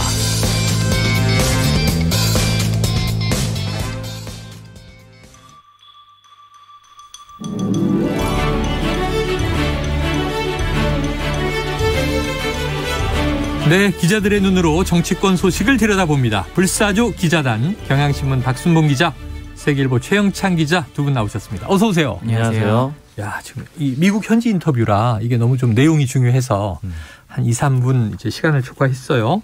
최영찬 기자님 지금 스튜디오 문을 박차고 들어오셨습니다. 네, 굉장히 기다리다 못해. 자, 본격적으로 들어가 보죠. 요즘 주제. 기자들 생각이 참 궁금한 대목이 많습니다. 자, 윤 대통령 동남아 순방 취재 관련 이슈들이 좀 여러 가지 많이 나오고 있어서. 자, 박 기자님. 네. 해외 순방이 아직 다 안 끝났어요. 오늘 저녁에 또 중요 회담이 남아 있습니다. 대통령실 분위기는 좀 어떻게 읽힙니까? 네, 오늘 오전에 여권 관계자들하고 좀 얘기해 봤는데. 이제 굉장히 긍정적으로 좀 평가하고 있습니다. 순방 내부적으로. 자체는? 네, 음. 순방의 결과물들이 굉장히 좋다라고 어, 네. 예상보다 더 좋다라고 보고 네. 있거든요. 일단 첫 번째는 근데 특히 강조하는 게이 한미 한일 이렇게 양국 간에 각각 만났을 때 분위기가 더 좋았대요. 음. 근데 그게 예전에 소위 굴욕 외교라고 이 국내에서 비판을 받았었던 네네네. 그런 상황도 있었잖아요. 바이든 대통령 만났는데 48초밖에 못 네네. 만났다. 또 기시다 총리도 뭐 찾아갔다. 네, 찾아가서 좀뭐 굴욕적으로 만났다, 네네. 굴욕 외교다 이런 식으로 비판을 받았었던 건데 그런 것들이 다 밑거름이 되고 있다 이렇게 좀 여권에서 음, 평가를 음. 하고 있습니다. 그뭐 노력의 결과가 이제 나타난다. 뭐 예를 들어서 그때 바이든 대통령 만난 거야 그렇고 특히 기시다 총리 만났을 때 그때 어떻게든 좀 한 단계 전, 진전을 시켜야 된다 이런 분위기가 음. 있었고 그래서 일단 내부에서 비판을 좀 받더라도 어떻게든 만나야 된다 이렇게 했던 건데 지금 결과적으로 여권에서 지금 판단을 하기로는 일본 국내에서 기시다 총리가 그때 당시에 조금 이제 일종의 고사, 고자세를 취하면서 네네. 이 국내에서는 좀 명분이 섰다는 거예요. 일본 어, 내부에서는. 예. 그래서 이번에 만날 때 훨씬 더 분위기가 좋았고 음. 그래서 여러 가지 의제를 꺼낼 때 또 진전시킬 수 있는 그런 분위기가 있었다라고 하고요. 그리고 또 예측했던 것보다 훨씬 더 회담 시간이 길어졌던 것도 네네. 사실은 그런 음. 분위기에 반영이 된 거다. 그러니까 결국 이제 여권에서 하는 얘기는 이제 윤석열 대통령이 이제 당장에는 좀 뭐 좀 굴욕적으로 보일 수 있고 비판을 받을 수 있고 그런 상황이었지만 네. 이런 것들을 좀 적극적으로 나서면서 그림이 좋아졌다라고 하고요. 또 바이든 음. 대통령 얘기도 하더라고요. 만났는데 이 확장 억제 문제 있잖아요. 네네. 요거는 사실은 우리나라에선 좀 조심스럽게 얘기를 꺼냈는데 오히려 바이든 대통령이 더 적극적으로 나섰다 그래요. 어. 더 전향적인 그런 분위기였어서 예. 특히 뭐 이런 얘기를 했다라고 합니다. 러시아랑 북핵이 굉장히 우리에겐 중요하다. 그러니까 음. 미국 입장에서는 이제 유사시에 적극적으로 대응할 수 있다 이런 식으로 굉장히 적극적으로 나와가지고 네. 지난번에 이 비판 받았던 게 오히려 밑거름이 됐다 이런 얘기들을 하고 있습니다. 그래요. 자, 과거에는 미국의 이제 주요 관리해야 될 대상이 중동하고 이제 한반도였는데 지금 러시아와 북핵이다. 이렇게 미 대통령이 직접 언급했다. 자, 그런데 이제 이번 순방의 핵심적인 내용 주로 뭐 정상 외교니까 그러한 부분들을 빼고 유독 이 취재 관련 논란이 많이 불거져서 말이죠. 이게 매체, 언론과의 이제 관계도 또 끼어 있는데 자, MBC가 윤 대통령 전용기 탑승 불어 통보를 받을 때 네. 이게 이제 두 번째잖아요. 그러니까 이제 저 이틀 전이잖아요. 그렇죠. 이틀 전. 전이었죠. 네. 근데 이게 대통령실 관계자 얘기를 그때 좀 직접 확인하신 것 같은데 어떤 네, 상황이었습니까? 그때 좀 얘기들을 이제 우연치 않게 좀 실시간으로 들었는데 어? 그때가 이제 수요일 밤이었습니다. 네네, 저녁에 맞아요. 한 9시에서 10시 사이였고요, 밤에. 네. 출발이 금요일이었거든요. 음. 출발 전으로는 한 40시간 전쯤이었습니다. 그때 이게 워낙 큰 사안이고 처음에는 보도도 안 나왔었거든요. 한참 네. 동안. 그래서 이제 그때 막 얘기를 들어보니까 MBC 쪽에 통보가 그 시간쯤에 갔어요. 밤 9시에서 밤에. 10시 사이쯤에. 당시 MBC 기자는 짐을 싸고 있었던 상황이라고 그랬겠죠. 합니다. 네, 왜냐하면 이 이틀 뒤긴 한데 그 전날인 그러니까 다 목요일이 되겠죠. 음. 목요일에 오전에는 이 성남공항으로 짐을 다 보내거든요. 아, 그 미리. 여권도 보내요. 네네네. 하루 전날쯤에 다 챙겨 놓는 거죠. 예, 예. 그러니까 오전에 다 보내기로 돼 있었기 때문에 그 전날 밤에 이 짐을 싸고 있었던 그런 상황이고요. 어. 그리고 특히 대통령실 실무진들도 몰랐다라고 하더라고요. 이거 누가 정한 거냐 이런 것도 좀 물어봤는데 네네. 이제 갑작스럽게 지시가 내려왔다 그래요. 네네네. 또 어느 정도 수준에서 내려온 건지는 그때 감이 주- 오지가 않았고 예. 아마 최소 수석급 이상에서 내려오지 않았겠느냐 이렇게 네. 추정을 하고 있었거든요. 음. 그리고 그 이후에 뭐 저도 이제 방송에서 얘기를 할 때 대통령이 아니면은 좀 지시하기가 어려운 문제 아니겠느냐 왜냐하면 후폭풍이 굉장히 네네네. 예상되는 그런 문제잖아요. 많이들 그렇게 이제 네. 추정을 하더라고요. 맞습니다. 그렇게 추정을 했는데 저 오늘 좀 들어봤을 때는 물론 이제 윤석열 대통령이 허락을 했다라는 건 뭐 100% 맞는 거고 소위 도어. 스태핑 때도 어. 확인을 했으니까요. 근데 누가 제안을 했느냐, 그러니까 아. 대통령 본인이 제안을 한 것이냐, 네네네. 아니면은 참모들이 한 것이냐 이런 것들에 대해서 지금 해석이나 주장들이 좀 갈리고 있는데 오늘 들어봤을 때는 좀 구체적으로 예. 기자 출신의 두 명의 비서관급 이상의 인사 이름을 듣긴 했는데 제가 좀 구- 특정하긴 그렇고요. 왜냐면 완전히 확장된 건 아니니까요. 명령이 본인들 입장을.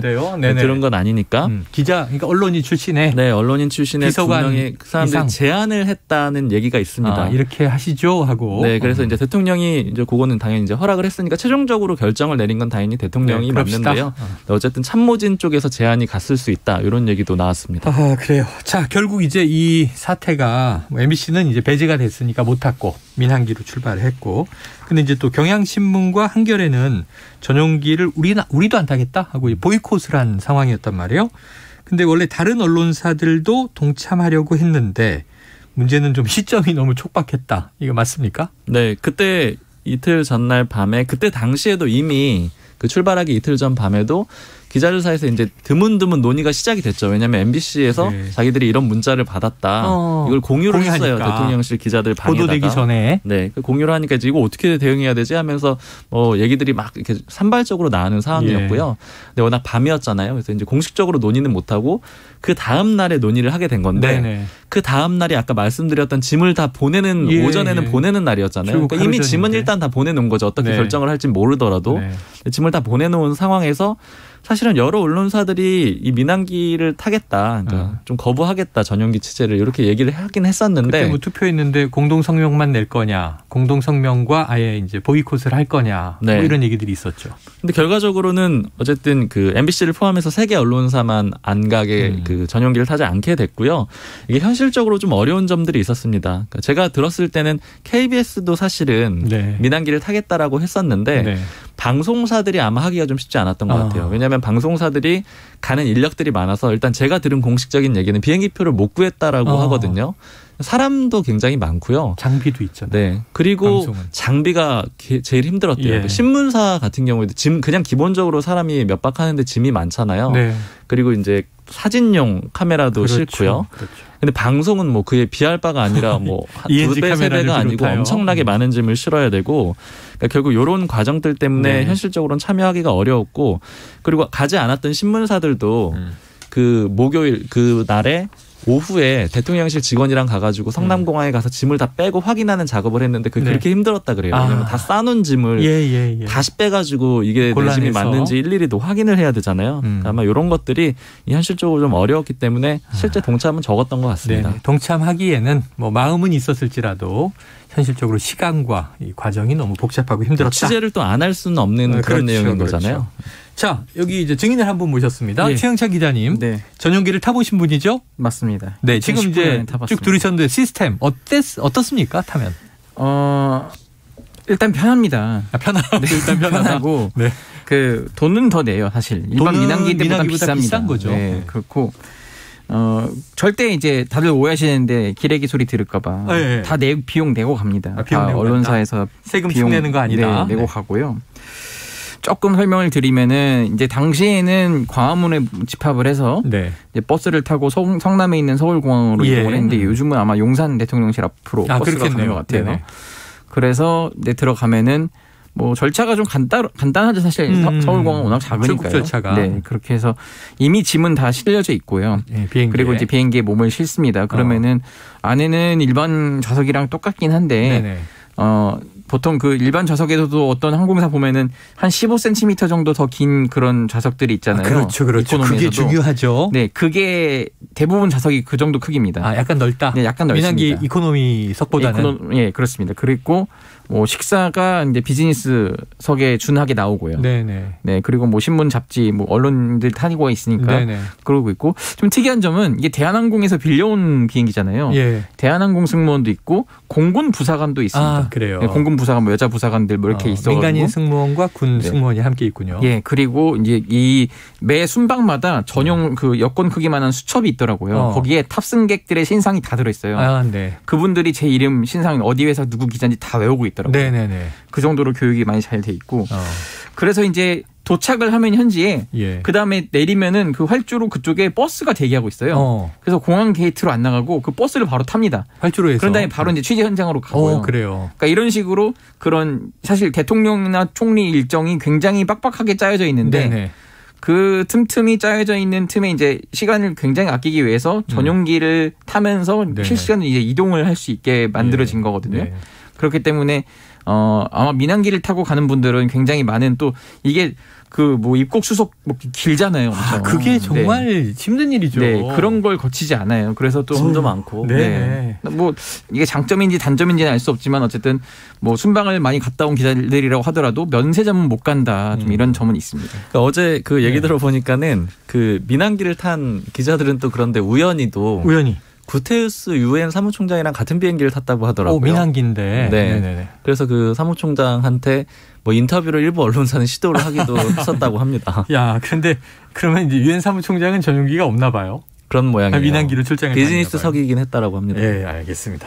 자, 그런데 이게 하나로 끝난 게 아니에요. MBC 배제에서 처음에 출국 때부터 예. 순방 시작이 좀 시끄러웠습니다만 언론 관계에서 현지에서는 풀기자단이 못 들어간 정상회의도 있었고 그다음에 또 오늘 당장 나온 얘기는 캄보디아에서 인도네시아 발리로 이동하는 전용기 안에서 논란이 나왔는데 윤 대통령이 친분이 있다는 기자 두 명만 따로 불러서 한 시간 정도 면담을 했다.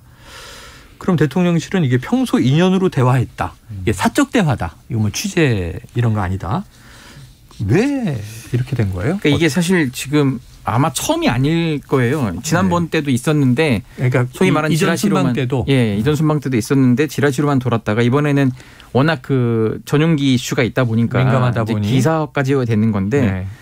지난번에다 그래서 제 기억을 하는 게 CBS 기자가 그런 인연이 있다. 뭐 남편이 검사, 검사, 때 검사다. 윤석열 대통령과 뭐 인연이 있어서 뭐 이분도 원래는 정치부 출입이 아니었는데 이제 네. 갑자기 그래서 가게 됐다. 아, 뭐? 이런 말도 있었고 예. 그래서 나오는데 이게 뭐 그러니까 뭐 그럴 수도 있다고 봐요. 대통령. 성격상 네. 뭐 사적 인연이 있으니까 내가 좀 대화를 평소에 나눌 수 없으니까 한번 어. 이참에 한번 기자들 의견도 물어보고 싶다 할수 예, 있겠지만은 그런데 방식이 조금은 너무 사적인 공간으로만 네네. 활용이 된건 아닌가 싶긴 간담회는. 없었고. 그렇죠. 간담회는 안 하고 기자 두 명이 너무 티나게 잠깐 앞으로 오시랍니다. 네. 그러니까 이게 기자들도 궁금하거든요. 왜냐면은 전용기는 타봤지만은. 이 전용기 뒷공간과 앞에는 완전 천차만별이에요. 네네. 앞에는 사실 막 대통령 전용이니까 팁 그 뭐 침대도 있고 어, 회의실도 있고. 회의실도 있고 어. 다양하다고 하는데 저는 본 적은 없습니다. 에어포스 원이니까 또 뭐 재난 대응 시스템처럼 예. 각종 모니터들이 쫙 있을 것 같은 하여튼 느낌이에요. 그 기자들은 그런 좀 혜택을 누린 거 아니겠습니까? 네, 그런 구경도 네. 하고 네. 좀 부럽긴 합니다. 자, 전용기를 타봤지만 앞부분은 가보지 못한 최영찬 기자의 네. 슬픈 얘기였고요. 저는 안 타봤습니다. 네, 아이, 박 기자님 안 타. 그러니까 이 저기 일가 친척 중에 검사가 없어요. 네. 아, 예, 검사가 전혀- 있어야 전혀 되나 이런 없습니다. 생각이 드는데. 이코노미석이랑 비즈니스석의 사이 정도 된다라고 저도 네. 항상 물어보거든요. 어느 아. 정도 좋냐. 그런 정도로 항상 갔다 온 기자들이 평가를 하더라고요. 네, 자 어떤 대화 나눴겠습니까, 박 기자님? 예상이 되세요? 아니요. 이거는 뭐 전혀 추정할 수가 없는 네네. 내용일 그쵸. 것 같고요. 근데 아마 그 상황이 이런 건 있는 것 같아요. 지금 이번에 원래 보통 전용기 안에서 일종의 약식 간담회 같은 것들을 보통 네네. 대통령이 하잖아요. 순방을 가거나 오는 길에 뭐 고생을 했다라고 얘기하면서 뭐 간단하게 질문도 받고 이런 어. 상황이 있었을 텐데 이번에는 MBC 배제 논란이 시작이 되면서 기자들이 아마 이 비행기 안에서 간담회를 하게 되면은 음. 뭐 보이콧을 해야 될지 말아야 될지 이런 것들을 또 판단하거나 아, 아니면 일부 언론사들은 것이다. 반발을 한다거나 이런 식의 좀 복잡한 그림이 있었을 것 같거든요. 네네. 네, 그러다 보니까 아예 대통령이 그런 시도 자체를 안 하고 어. 그냥 다만 이제 그냥 일부 사람들만 불러가지고 개인적인 얘기를 한 게 아닌가 그냥 그렇게 추정이 됩니다. 뭐 사적 대화라고 하긴 하지만 어, 제가 만약 대통령이라면 이런 네네. 게 궁금하지 않았을까 싶어요. 워낙 지금 언론과 대치 상태인 아, 게 있어서 예. 좀 취재 기자단 뭐 분위기는 어떻습니까라고 좀 물어볼 네네네. 수는 있지 않을까. 근데 네. 그런 걸 만약에 물어보려고 하더라도 정식 간사단이 있거든요. 그렇죠, 그렇죠. 간사단을 사실 활용해서 서로. 예전에 예, 대화도 하고 그래야 될 텐데 네. 그게 아니라 본인이 뭐 신뢰하고 믿을 만한 기자 딱 이런 분들만 한 것 아닌지. 그걸 물어봤으면 이미 사적 대화가 아니죠. 님의 사실은 공식 대화가 전용기 되죠. 안에서 대통령이 네. 기자들하고 대화를 나누는 게 어떤 개인적인 대화라고 보기는 어려울 네. 것 같아요. 사실 이상민 장관이 뭐 중앙일보하고 문자 메시지 주고받은 거 이것도 개인적인 대화라고 했는데 그렇게 좀 주장을 하고 있는 거잖아요. 네. 근데 사실은 기사화가 됐잖아요. 그러니까 그렇죠. 고위공직자들은 그런 건 어느 정도 감안을 해야 될것 자, 같습니다. 이런 게 있었어요. 한일 정상회담의 경우에 아예 순방을 따라간 취재 풀 기자단의 이제 취재 자체를 막았고 저 처음 들어봤는데 이제 전속 취재 방식으로 대통령실이 영상과 자료를 줬다는 거잖아요. 그걸 보도하고 자 그런데 이제 일본의 기시다 총리는 어쨌든 회담 끝나고 13분 동안 또 기자들하고 브리핑 질의응답을 했다는 거잖아요. 근데 이게 양국의 사전 협의에 따른 것이다 했는데 일본하고 우리는 언론을 대하는 태도가 달랐단 말이에요. 어떻게 보십니까? 그러니까 좀 많이 되게 아쉬운 대목인데 네. 물론 뭐 일본 측이 원했는지 우리가 원했던 건지는 지금 확인이 되진 않아요. 근데 다만 제가 이제 현장 가 있는 기자한테 물어봤더니 네. 음. 현장에서 생각보다 그게 막 이슈나 문제라고 따지진 않았다는 거예요. 네. 왜냐하면 처음 설명을 할 때 양국이 외- 그 외교상 아. 이게 합의가 된 대목이니까 좀 양해를 부탁드립니다. 예, 뭐 이렇게 예. 나오면은 할 말이 없다는 거예요. 왜냐하면 네, 네, 우리 네. 기자들만 못 들어간 게 아니라 일본도. 일본 기자도 못 음. 들어가니까. 근데 음. 사실 이게 어 타당하냐의 문제는 또 다른 거긴 한데 음. 뭐 그렇다고 근데 사실 그것도 그런 건 있다는 거예요. 그 일본 측이 그게 그렇게 서로 합의는 했지만 저 기사 들어간 사람이 전속인지 뭐 아사히 신문 기자인지 알 수는 없다는 음. 아, 거예요. 그렇지, 우리가. 그렇지, 그렇죠. 그렇지만 어쨌든 끝나고 나와서 일본 총리는 좀 브리핑도 해주고, 해주고. 했는데 우리도 같이 했으면 어땠을까라는 생각은 네. 들고 사실 제가 그 이 대통령 전용기를 탔을 때가 그 일본 일왕 즉위식 때 아, 간 건데 네네네네네. 그때 이제 아베 총리는 제가 신기한 게 뭐였냐면은 네. 당시 이제 문재인 정부였으니까 대통령은 청와대 안에 들어 있어서 잘 네네네. 브리핑 안 하잖아요. 음. 거기는 이제 총리 관저를 제가 처음 가봤어요 처음. 아베 총리의. 네. 근데 아베 총리는 바로 바로 그 기자들 마- 그 카메라 마이크 대고 네. 멘트를 하더라고요. 아, 예. 그런 게 원래 달랐고 근데 우리도 이제 어쨌든 doorstepping 뭐 출근길 문답식으로? 어. 진일보 할 만큼 이제 이런 면에서도 조금 더 네네. 언론 friendly하게 했으면 좋지 않을까 알겠습니다. 싶습니다. 자, 정치권 이슈로 가보겠습니다. 지금 국정조사를 둘러싸고 뭐 여야가 지금 오늘도 뭐 회동이 있다고 하는데 어제도 평행선이었다. 공전 중이다. 자, 국정조사 여지를 어느 정도 열어두긴 했던 주호영 원내대표. 안 한다는 것보다는 시기가 문제다. 이렇게 얘기를 하고 있었죠.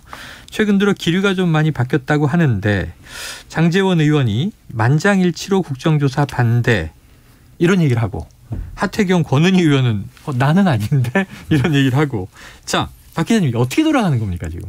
네, 그냥 드러나는 대로 내부에 반대가 있는데 네. 그러나 국정조사는 하면 안 된다. 이런 방향으로 좀 끌어가는 그런 그림이라고 예, 봐야 예, 되고요. 예. 뭐 초선, 재선 그리고 중진 의원들 주호영 원내대표가 차례로 만나가지고 음. 의견을 수렴하는 그런 과정을 거치고 있잖아요. 네. 이런 과정 자체가 이 국정조사를 받을 수 없다라는 명분을 쌓는 그런 그림이고요. 다만 좀 이제 아이러니한 부분은 주호영 원내대표는 사실은 좀 유동적인 그런 입장이잖아요. 말씀해 음. 주셨듯이 이 선 경찰 조사를 보고 나서 그 다음에 판단해도 늦지 않다. 아니면 또 민심을 좀 보고 반영을 해야 된다. 이런 정도의 입장인데 네. 소위 윤핵관이라고 불리는 의원들이 적극적으로 나서가지고 친윤 그룹. 네, 국정조사는 절대 안 된다 이런 입장을 좀 푸시하는 어. 그런 그림이라고 이해가 됩니다. 그리고. 사실 대통령이 국정조사 반대 입장이니까 그쪽 네네. 그림으로 좀 끌려간다라고 봐야 되겠죠. 대통령실 기류에 따라서 자 그런데 이제 더불어민주당은 국정조사와 특검 묶어서 지금 범국민 서명 운동을 전개하고 있단 말이에요. 네. 장외투쟁의 시동을 건 셈인데 자 뭐 야당은 이게 유리하다고 판단했으니까 할 거 아니에요? 속내가 뭡니까? 일단 뭐 국정조사는 당연히 해야 한다는 거고 네. 국정조사를 하더라도 어, 특검이 관찰될 때까지 서명 운동을 계속하겠다는 거예요. 어. 근데 의외로 의원들이 많이 하고 있어요 지역에서 이거를. 예, 예, 예. 그래서 이상하다 싶어서 살짝 좀 뭐 보좌진들한테 물어봤더니 이런 속내를 하더라고요. 네. 이제 총선을 앞두고 있잖아요. 다가오고 있죠. 네, 이제 당, 그 1년이요? 어쨌든 사실상 1년 남았다고 봐야 돼요. 한 1년 그반 그러니까 총선 남짓? 말고도 그 이제 당내 경선 이런 게 아 중요하니까. 그렇죠 그렇죠 공천 과정도 네, 있고 그러면 지역에서 어쨌든 지역민들한테 서명을 받는 거잖아요. 네네 제가 그, 그 어떤 식으로 하나 봤더니 이름이랑 연락처 이런 걸 기록을 하더라고요. 여기까지 말씀드려도 알겠죠. 아. 네네네 네 그러니까 소위 여기에서 이제 동의를 한다는 분들은 강성 당원들 네 그리고 당원이 아니더라도 열성 지지층들이 참여를 적극적으로 한다는 거예요. 좀 한번 모아두자. 야 총선 대비의 네. 이 이중 플레이다 네, 그래서 이제 우리의 의정 보고도 이제 보내드리고 지역 주민들한테 우리 의원 또 열심히 하고 있다는 하는 거고요. 네, 그런 마음도 어느 정도는 있더라. 아, 네, 야, 속내를 여쭤봤더니 어, 그런 속내가 있을 수도 있겠구나 하는 생각이 번쩍 드네요. 자, 민주당은 계속 이제 이상민 행안부 장관의 경질을 계속 요구합니다. 정부 여당은 조금 이거 방어해야 된다 하는 분위기인데 그대로 갑니까? 네, 분위기가 크게 다르지 않고요. 네. 아주 소수 의견으로 좀 어느 정도 사태가 다 정리가 되고 특히 제가 윤석열 대통령이 진상 규명이 어느 정도 되고 나면은 네. 대국민 담화를 음. 뭐 이렇게 좀 할 수 있다 이런 말씀을 네네네. 드렸었잖아요. 좀 별도의 기자회견 형태를 예. 갖춰가지고 요거 여권 관계자 발로 전해드린 적이 있었는데 네. 만약 그런 작업들이 다 이루어지고 나면은 음. 그 다음에 이상민 장관 경질할 수 있지 않겠느냐 이런 얘기가 있는데 이건 굉장히 소수 의견이고요. 네. 대체적으로는 이상민 장관은 유임이 될 것이다 아. 이런 관측들이 많고요. 전체적으로 이 대통령실의 대응 같은 것들이 좀 강경 대응으로 좀 왜곡이 되고 있다. 이런 내부적인 비판도 왜곡이 있어요. 되고 있다. 네, 이게 네. 어떤 얘기냐면은 그러니까 소위 좀 거친 표현으로는 한동훈병 걸렸다 이런 식의 얘기를 하는데 한동훈병. 이게 무슨 말이냐면 네. 한동훈 장관이 조금 공세적으로 나서는 경우들이 있잖아요. 어우, 굉장히. 공세적이죠. 네. 네. 네 근데 그게 이 이제 모 여권 관계자의 말은 한동훈 장관 같은 경우에는 좀 선택적으로 그런다라는 거예요. 음. 그러니까 예를 들자면 예전에 검언 유착 때부터 악연이 있어왔던 의원들, 네네네. 뭐 김의겸 의원이라던가 네네. 아니면 뭐 김남국 의원이라든가 최강욱 의원 최강욱 의원 등등. 이런 사람들에 대해서 한정적으로 굉장히 적극적으로 공세적으로 나서는 거지 네네네. 다른 의원들한테까지 그렇게 하지 않는다라는 거예요. 아. 다른 이 공손하게 하는데 근데 요런 한동훈 장관의 어떤 대응이 좀 주목도 많이 받고 또 예전에 윤석열 대통령이 스타 장관 뭐 이런 얘기를 아, 했잖아요. 그런 얘기했죠. 지금 스타 장관이라고 할 만한 사람은 여권에선 사실은 한동훈 장관밖에 없는 상황이고요. 네, 물론 반대쪽에서는 싫어하겠지만 그렇죠. 지지층에서는 또 인기가 높죠. 여권 내에서만 네네. 그렇게 되겠죠. 그러니까 결국 이런 모습들을 보고 대통령실의 참모들이 어. 너무 국회 가서 마치 그 한동훈 장관처럼 강한 대응을 하고 있는 게 아니냐 네네네. 이런 비판들이 좀 내부에서 있어요. 그러니까 예를 아. 들자면 이진복 정무수석이 아. 뭐 MBC 배제 이런 거 질문을 받으니까 뭐 좋게 좋게 뭐 갑시다 이런 식의 좀 맞아요. 그런 표현들을 썼잖아요. 어제 논란이 됐죠. 근데 이런 거는 지금 여권 내부에서 봤을 때는 네네. 저거는 한동훈 장관이 했을 때나 그런 뭐 대응이 가능한 네, 네. 거고 굉장히 선택적인 상황에서 가능한 건데 이 모든 수석들이나 대통령실 관계자들이 그렇게 나서는 건 맞지가 게 않다. 아니다. 뭐 이런 얘기들도 나오고 있습니다. 아, 한동훈 병 이거 굉장히 좀 재밌는 얘기인데 좀 톡 쏘는 얘기를 이제 야당이 좀 하고 싶어 하는 성향이 생기고 있다. 근데 그게 예를 들면 좋게 좋게 갑시다. 여권에서 그런 거죠. 여권에서. 아, 또 이제 뭐 예를 들면 뭐 펌나게 이런 거 문제가 되고 또 웃기고 있네 이런 메모도 지금 문제가 됐습니다.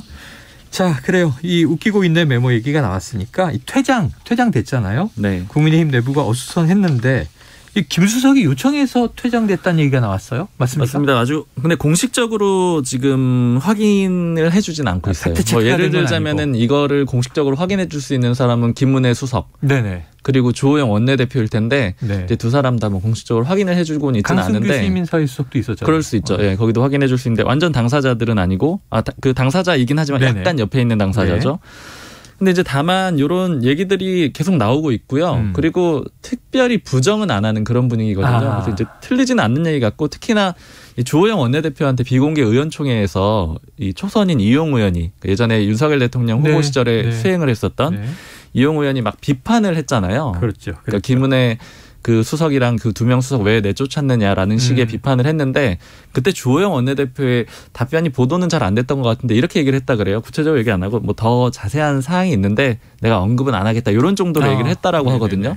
그러니까 아마 이것도 그런 내용으로 좀 추정이 됩니다. 그래서 아마 김은혜 수석이 좀 예. 요청을 했을 가능성이 꽤 있고요.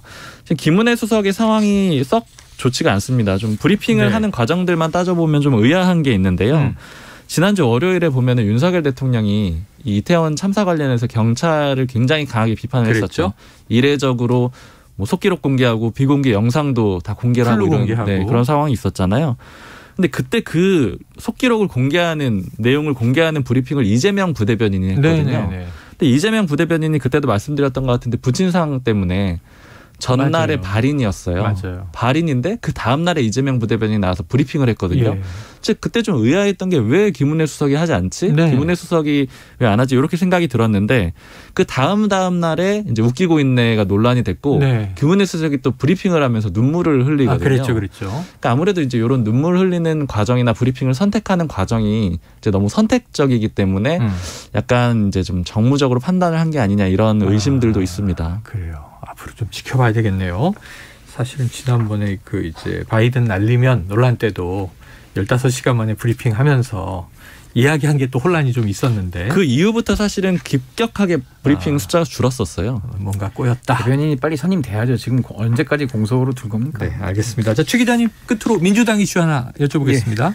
자, 이재명 대표의 최측근 정진상 실장 오늘 비공개로 검찰 소환이 됐다. 뭐 비공개라고 해도 소환된 게 다 보도가 됐으니까 당내 분위기 어떻습니까? 지도부랑 주요 당직자만 분주한 것 같아요. 음. 아무래도 이제 오늘 뭐 방송에서 이제 종천 의원도 얘기했는데 네네. 왜 일개 당직자를 위해서 당 전체가 나선 모양새냐 아. 좀 비판을 하기도 했거든요. 예. 지금 방송 들어오느라 못 챙겼는데 네. 1시 20분에 음. 박찬대 최고위원을 중심으로 지금 검찰의 진술 조작 의 증거를 공개한다고 해요. 어. 그러니까 이게 지금 그 김용 그 부원장 거그 공소장과 예. 이 지금 압수수색 영장을 비교해 볼 때? 보통 네. 공소장이 길대요. 근데 그렇죠. 이거는 압수수색 영장이 이례적으로 엄청 길다는 거예요. 혐의. 내용을 막 구체적으로 엄청 많이 제시를 예, 하고 예.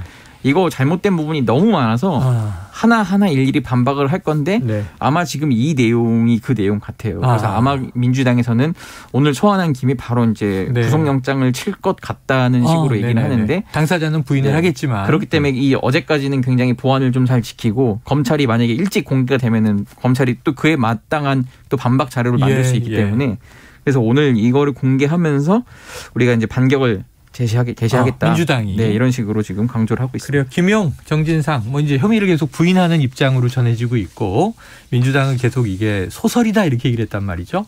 거기에 대해서 이제 잘못된 부분들을 오늘 좀 민주당이 조목조목 반박할 가능성이 있다. 오후 상황을 지켜보도록 하겠습니다. 자, 우리 청취자 0584님 불사조 기자단 응원합니다. 시사를 생생하게 체험하게 되네요. 아, 이 두 분이 워낙 현장을 누비면서 취재를 아주 꼼꼼하게 하기 때문에 이야기를 들으면 궁금한 게 많이 해소가 불사조 되죠. 기자단 때문에 굉장히 많은 시간을 할애하고 있습니다. 저희가 아주 출연료를 올려주셔야 되는데 이거. 네. 출연료는 올려드리지 못해도 불사조 기자단 마크를 만들어서 부착해드리도록 할게요. 자, 박순봉 경향신문 기자, 최영창 세계일보 기자, 오늘도 고생하셨습니다. 감사합니다.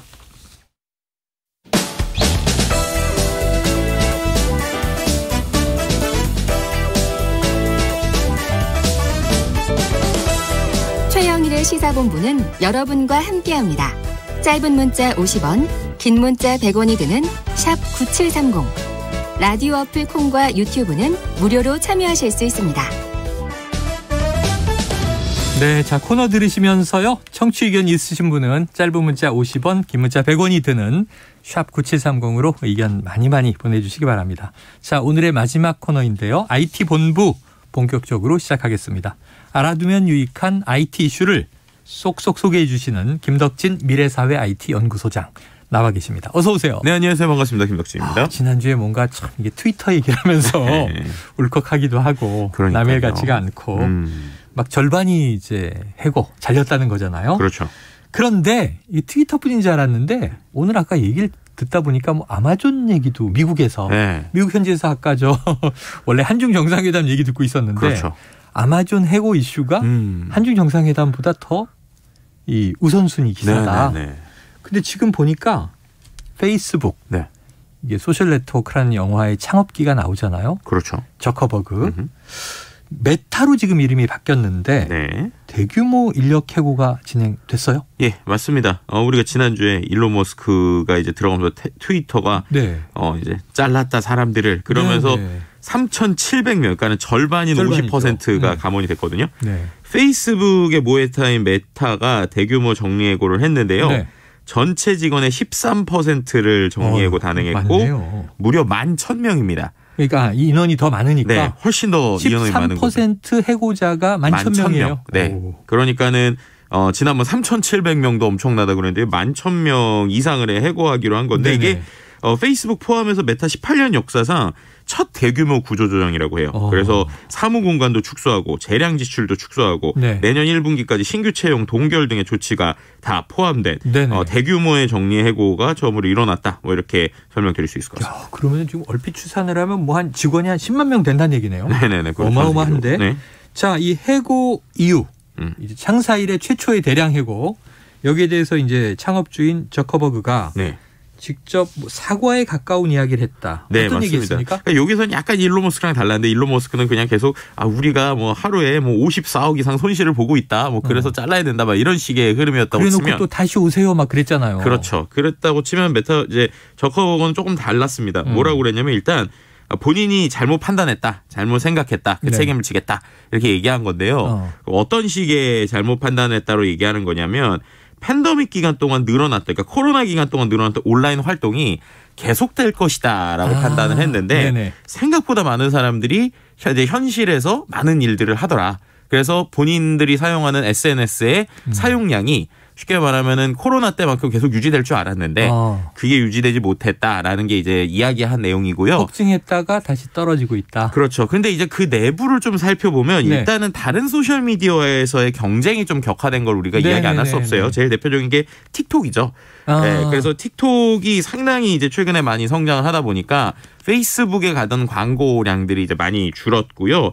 이제 두 번째는 어 이제 메타라고 이름을 바꾼 것처럼 메타버스에 정말 올인을 하지 아, 않았습니까? 그렇죠, 그렇죠. 정말 많은 돈, 그러니까 예를 들면 올해만 94억 원을 이제 94억 달러를 네. 쏟아 부었는데 어마어마한 돈입니다. 아직도 뚜렷한 성과가 없습니다. 네. 그러니까는 매출은 줄고 그리고 거기에서 투자는 늘어났는데 음. 그 투자에 대한 성과가 없으니까 결국에는 이제 어떻게 보면 시장에서는 과연 이 메타라고 하는 회사가 어떻게 될 것인가라고 하는 고민들이 있고요. 그래서인지 악재가 겹치면서 메타 주가가 지금 연초 대비 70% 이상 폭락한 상황이라고 볼 수 있을 것 같습니다.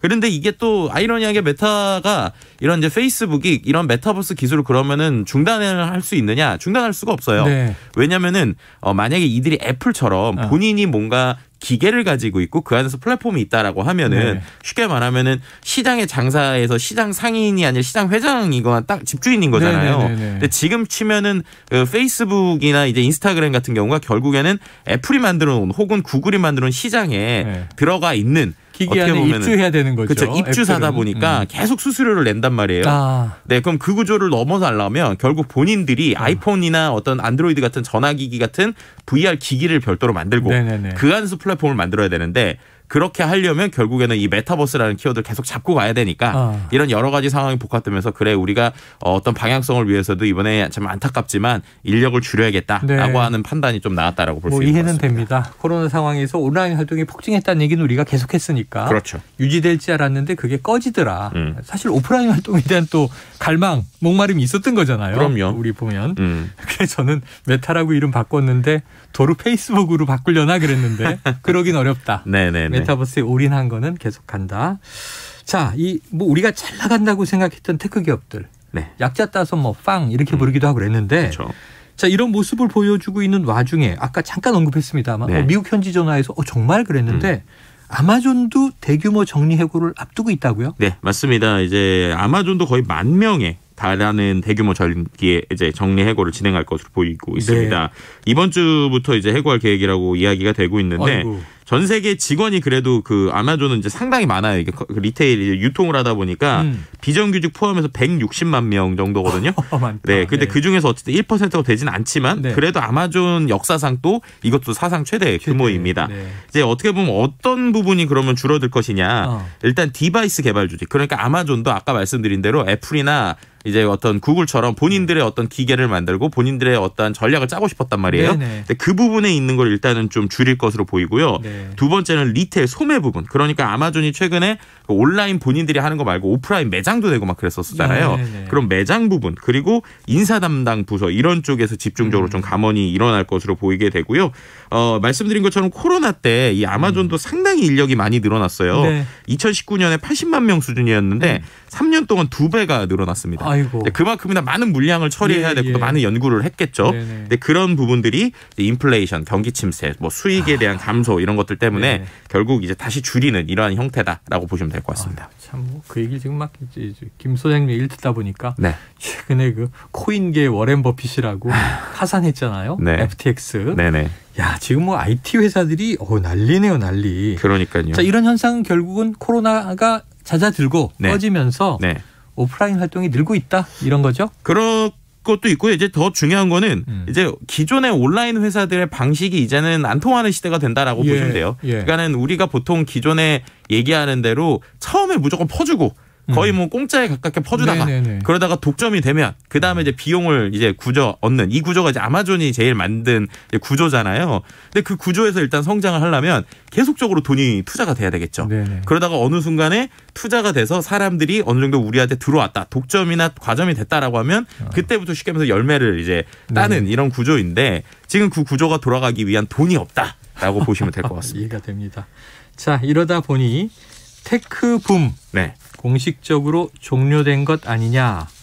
자 이런 인터뷰가 네. 이 미국의 전 재무장관 입에서 나왔어요. 네, 맞습니다. 이제 래리 서머스 전 미국 전, 전 미국 재무장관이 이제 네. 미국의 기준금리 인상 여파로 tech boom이 공식적으로 종료됐다. 어허. 투자자들에게 눈높이를 조정해라 라고 조언을 한 것입니다. 음. 그러니까 이게 이제 그러면서 비교를 한 게 98년도 때 있었던 네. 소위 dot-com bubble 있잖아요. 야, 네, 그때 이야기를 하시더라고요. 그때 제가 사업을 했었어요. 아, 어떠셨나요? 버블이 꺼지더라고요. 그러니까요. 네. 그때 비슷하게 이 버블이 과도한 주가 상승이 됐다가 네. 터무니없는 기업 가치를 상징을 했다가 결국에는 상장한 지 1년도 안 돼서 파산했던 기업들이 있는데 음. 지금 좀 비슷한 상태다. 그래서 어떻게 보면은 과도한 기대치를 지금 조정해야 된다라고 네. 해서 말씀하신 뭐 FTX 이런 얘기들까지 같이 묶어서 한 이 재무장관의 어, 이야기가 이번에 좀 화제가 그래도 되기도 겨울. 경제 위기가 걱정인데 네. 우리나라는 또 어떤 여파가 있을까도 걱정인 게 그러니까요. 부동산 버블이 꺼져야 산다 이런 얘기를 많이 듣는데 음. 벤처 버블, IT 버블도 꺼지면 아, 동력은 뭐지 하는 걱정이 됩니다. 네.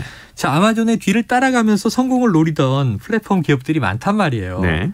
근데 이제 돈잔치 끝났다 이런 메시지로 지금 들리니까 자 국내에서 네. 예를 들면 아마존의 좀 유사 모델 쿠팡 네. 그런데 처음으로 흑자 전환을 했어요. 그렇죠. 어떻게 된 겁니까? 그러니까 이렇게 보면 좀 쿠팡 입장에서 그냥 쿠팡의 관점으로 보면 네. 타이밍이 참 좋았다라고 설명을 할 수 있는 아, 거예요. 그래요? 그러니까 아까 말씀드렸던 대로 계속 돈을 붓는 타이밍이 있었잖아요. 예, 예. 근데 그 타이밍에 어떻게 보면은 지금 코로나나 여러 음. 가지 것들 통해서 또 이제 엄청난 대규모의 투자를 받았었죠. 또 IPO도 했고. 그렇죠. 어. 그러다가 이제 투자가 끊기는. 그러니까 지금 시기에 뭔가 플랫폼이 다시 쿠팡 같은 걸 만들려고 하면 거의 불가능에 가까운 상황인데 네네. 이제 지금까지 깔아놓은 것들이 조금 씩 이제 워킹이 되기 시작했다라고 표현을 드릴 수 있을 것 같아요. 어. 네네. 그러다 보니까 이제 처음으로 이제 2014년 이후에 첫 분기 흑자를 기록하기도 했는데요. 네. 물론 이 흑자가 계속 갈지 안 갈지는 좀 더 지켜봐야, 지켜봐야 돼요. 된다? 왜냐하면은 계속적인 기술의 투자가 있을 거니까. 예. 하지만 확실히 쿠팡도 이제는 투자는 좀 더 줄이고 거기에 있는 열매를 좀 맺는 이 모델로 조금 더 격화될 것이다. 그래서 음. 우리가 온라인 회사들이 지금까지 많이 많이 했었던 무료 쿠폰, 음. 그다음에 뭐 여러 가지 무료 서비스들 이런 것들은 한동안 계속 좀 많이 줄어들 것으로 좀 전체적으로 전망해 보시면 될 것 같습니다. 그래요. 지켜봐야 되겠네요. 야, 과거에는요, 이 IT 분야에서 first mover's initiative. 네. 선발자의 그 유리함. 그렇죠. 한 번 선점하면은 그 순위 바꾸기가 어렵다 그랬는데 말씀하신 대로 오히려 후발주자가 운때가 타이밍이 잘 맞으면 흑자도 내고 성장하는 모습도 볼 수가 있게 된다. 이런 얘기죠. 자, 이런 상황이 앞으로 계속 갈까? 음. 자, 지금 이제 여러 가지 걱정이 있어요. 네. 이 코로나 19 이후에 네. 오히려 어, 그 전망은 과거로 돌아갈 수 있다. 음흠. 지금 디즈니도 구조조정한다고 하는데 네. 디즈니는 원래 디즈니랜드 네. 오프라인 산업이 활성화돼 있는 업종이잖아요. 그렇죠. 어떻게 될까요? 그러니까 이 디즈니가 진짜 많은 것을 알게 하는데요. 네. 말씀하신 대로 이번에 이렇게 적자가 나고 또 그 안에서 구조조정하는 포인트가 디즈니랜드가 아니라 아. 이 디즈니 오리지널 OTT 있지 않습니까? 아, 디즈니 OTT. 플러스 네네. 이쪽에서 최근에 돈을 엄청나게 썼기 때문이에요. 오히려 최근에 신규 진출한 네, 그래서 넷플릭스보다 오히려 지금 사용자는 더 많아졌거든요. 네. 근데 적자 규모가 엄청나져 버린 거죠. 콘텐츠가 쌓인 게 엄청 많잖아요. 그렇죠. 디즈니는. 근데 그거를 하기 위해서 또 무료로 사람들 가입 많이 싸게 해서 네. 가입시키고 이런 것들이 있었는데 이런 문제가 결국엔 터졌기 때문에 네네. 결국 이제 이제 어떻게 보면은 디즈니 입장에서도 돈 버는 쪽으로 더 가까이 갈 거거든요. 아. 그래서 이제 모든 대부분의 tech 기업들이 이제 돈 버는 쪽에 좀 집중할 것이다. 이렇게 좀 설명. 오히려 디즈니랜드는 활성화되고 네. 디즈니 플러스는 줄일 수 있다. 네네네. 자, 항상 신사업, 첨단 사업이 좋은 것만은 아닙니다. 항상 우리가 잘 판단해야 될 것 같아요. 야, 오늘 흥미진진한 얘기를 들어봤는데 IT 시장이 암울하네요. 자, 김덕진 미래사회 IT연구소장과 IT본부 함께했습니다. 오늘 말씀 고맙습니다. 네, 감사합니다. 예, 자, 화요일 준비했던 이 최영일의 시사본부 내용은 여기까지 다 전해드렸습니다. 저는 내일 낮 12시 20분에 다시 찾아뵙겠고요. 오늘도 청취해주신 여러분 고맙습니다.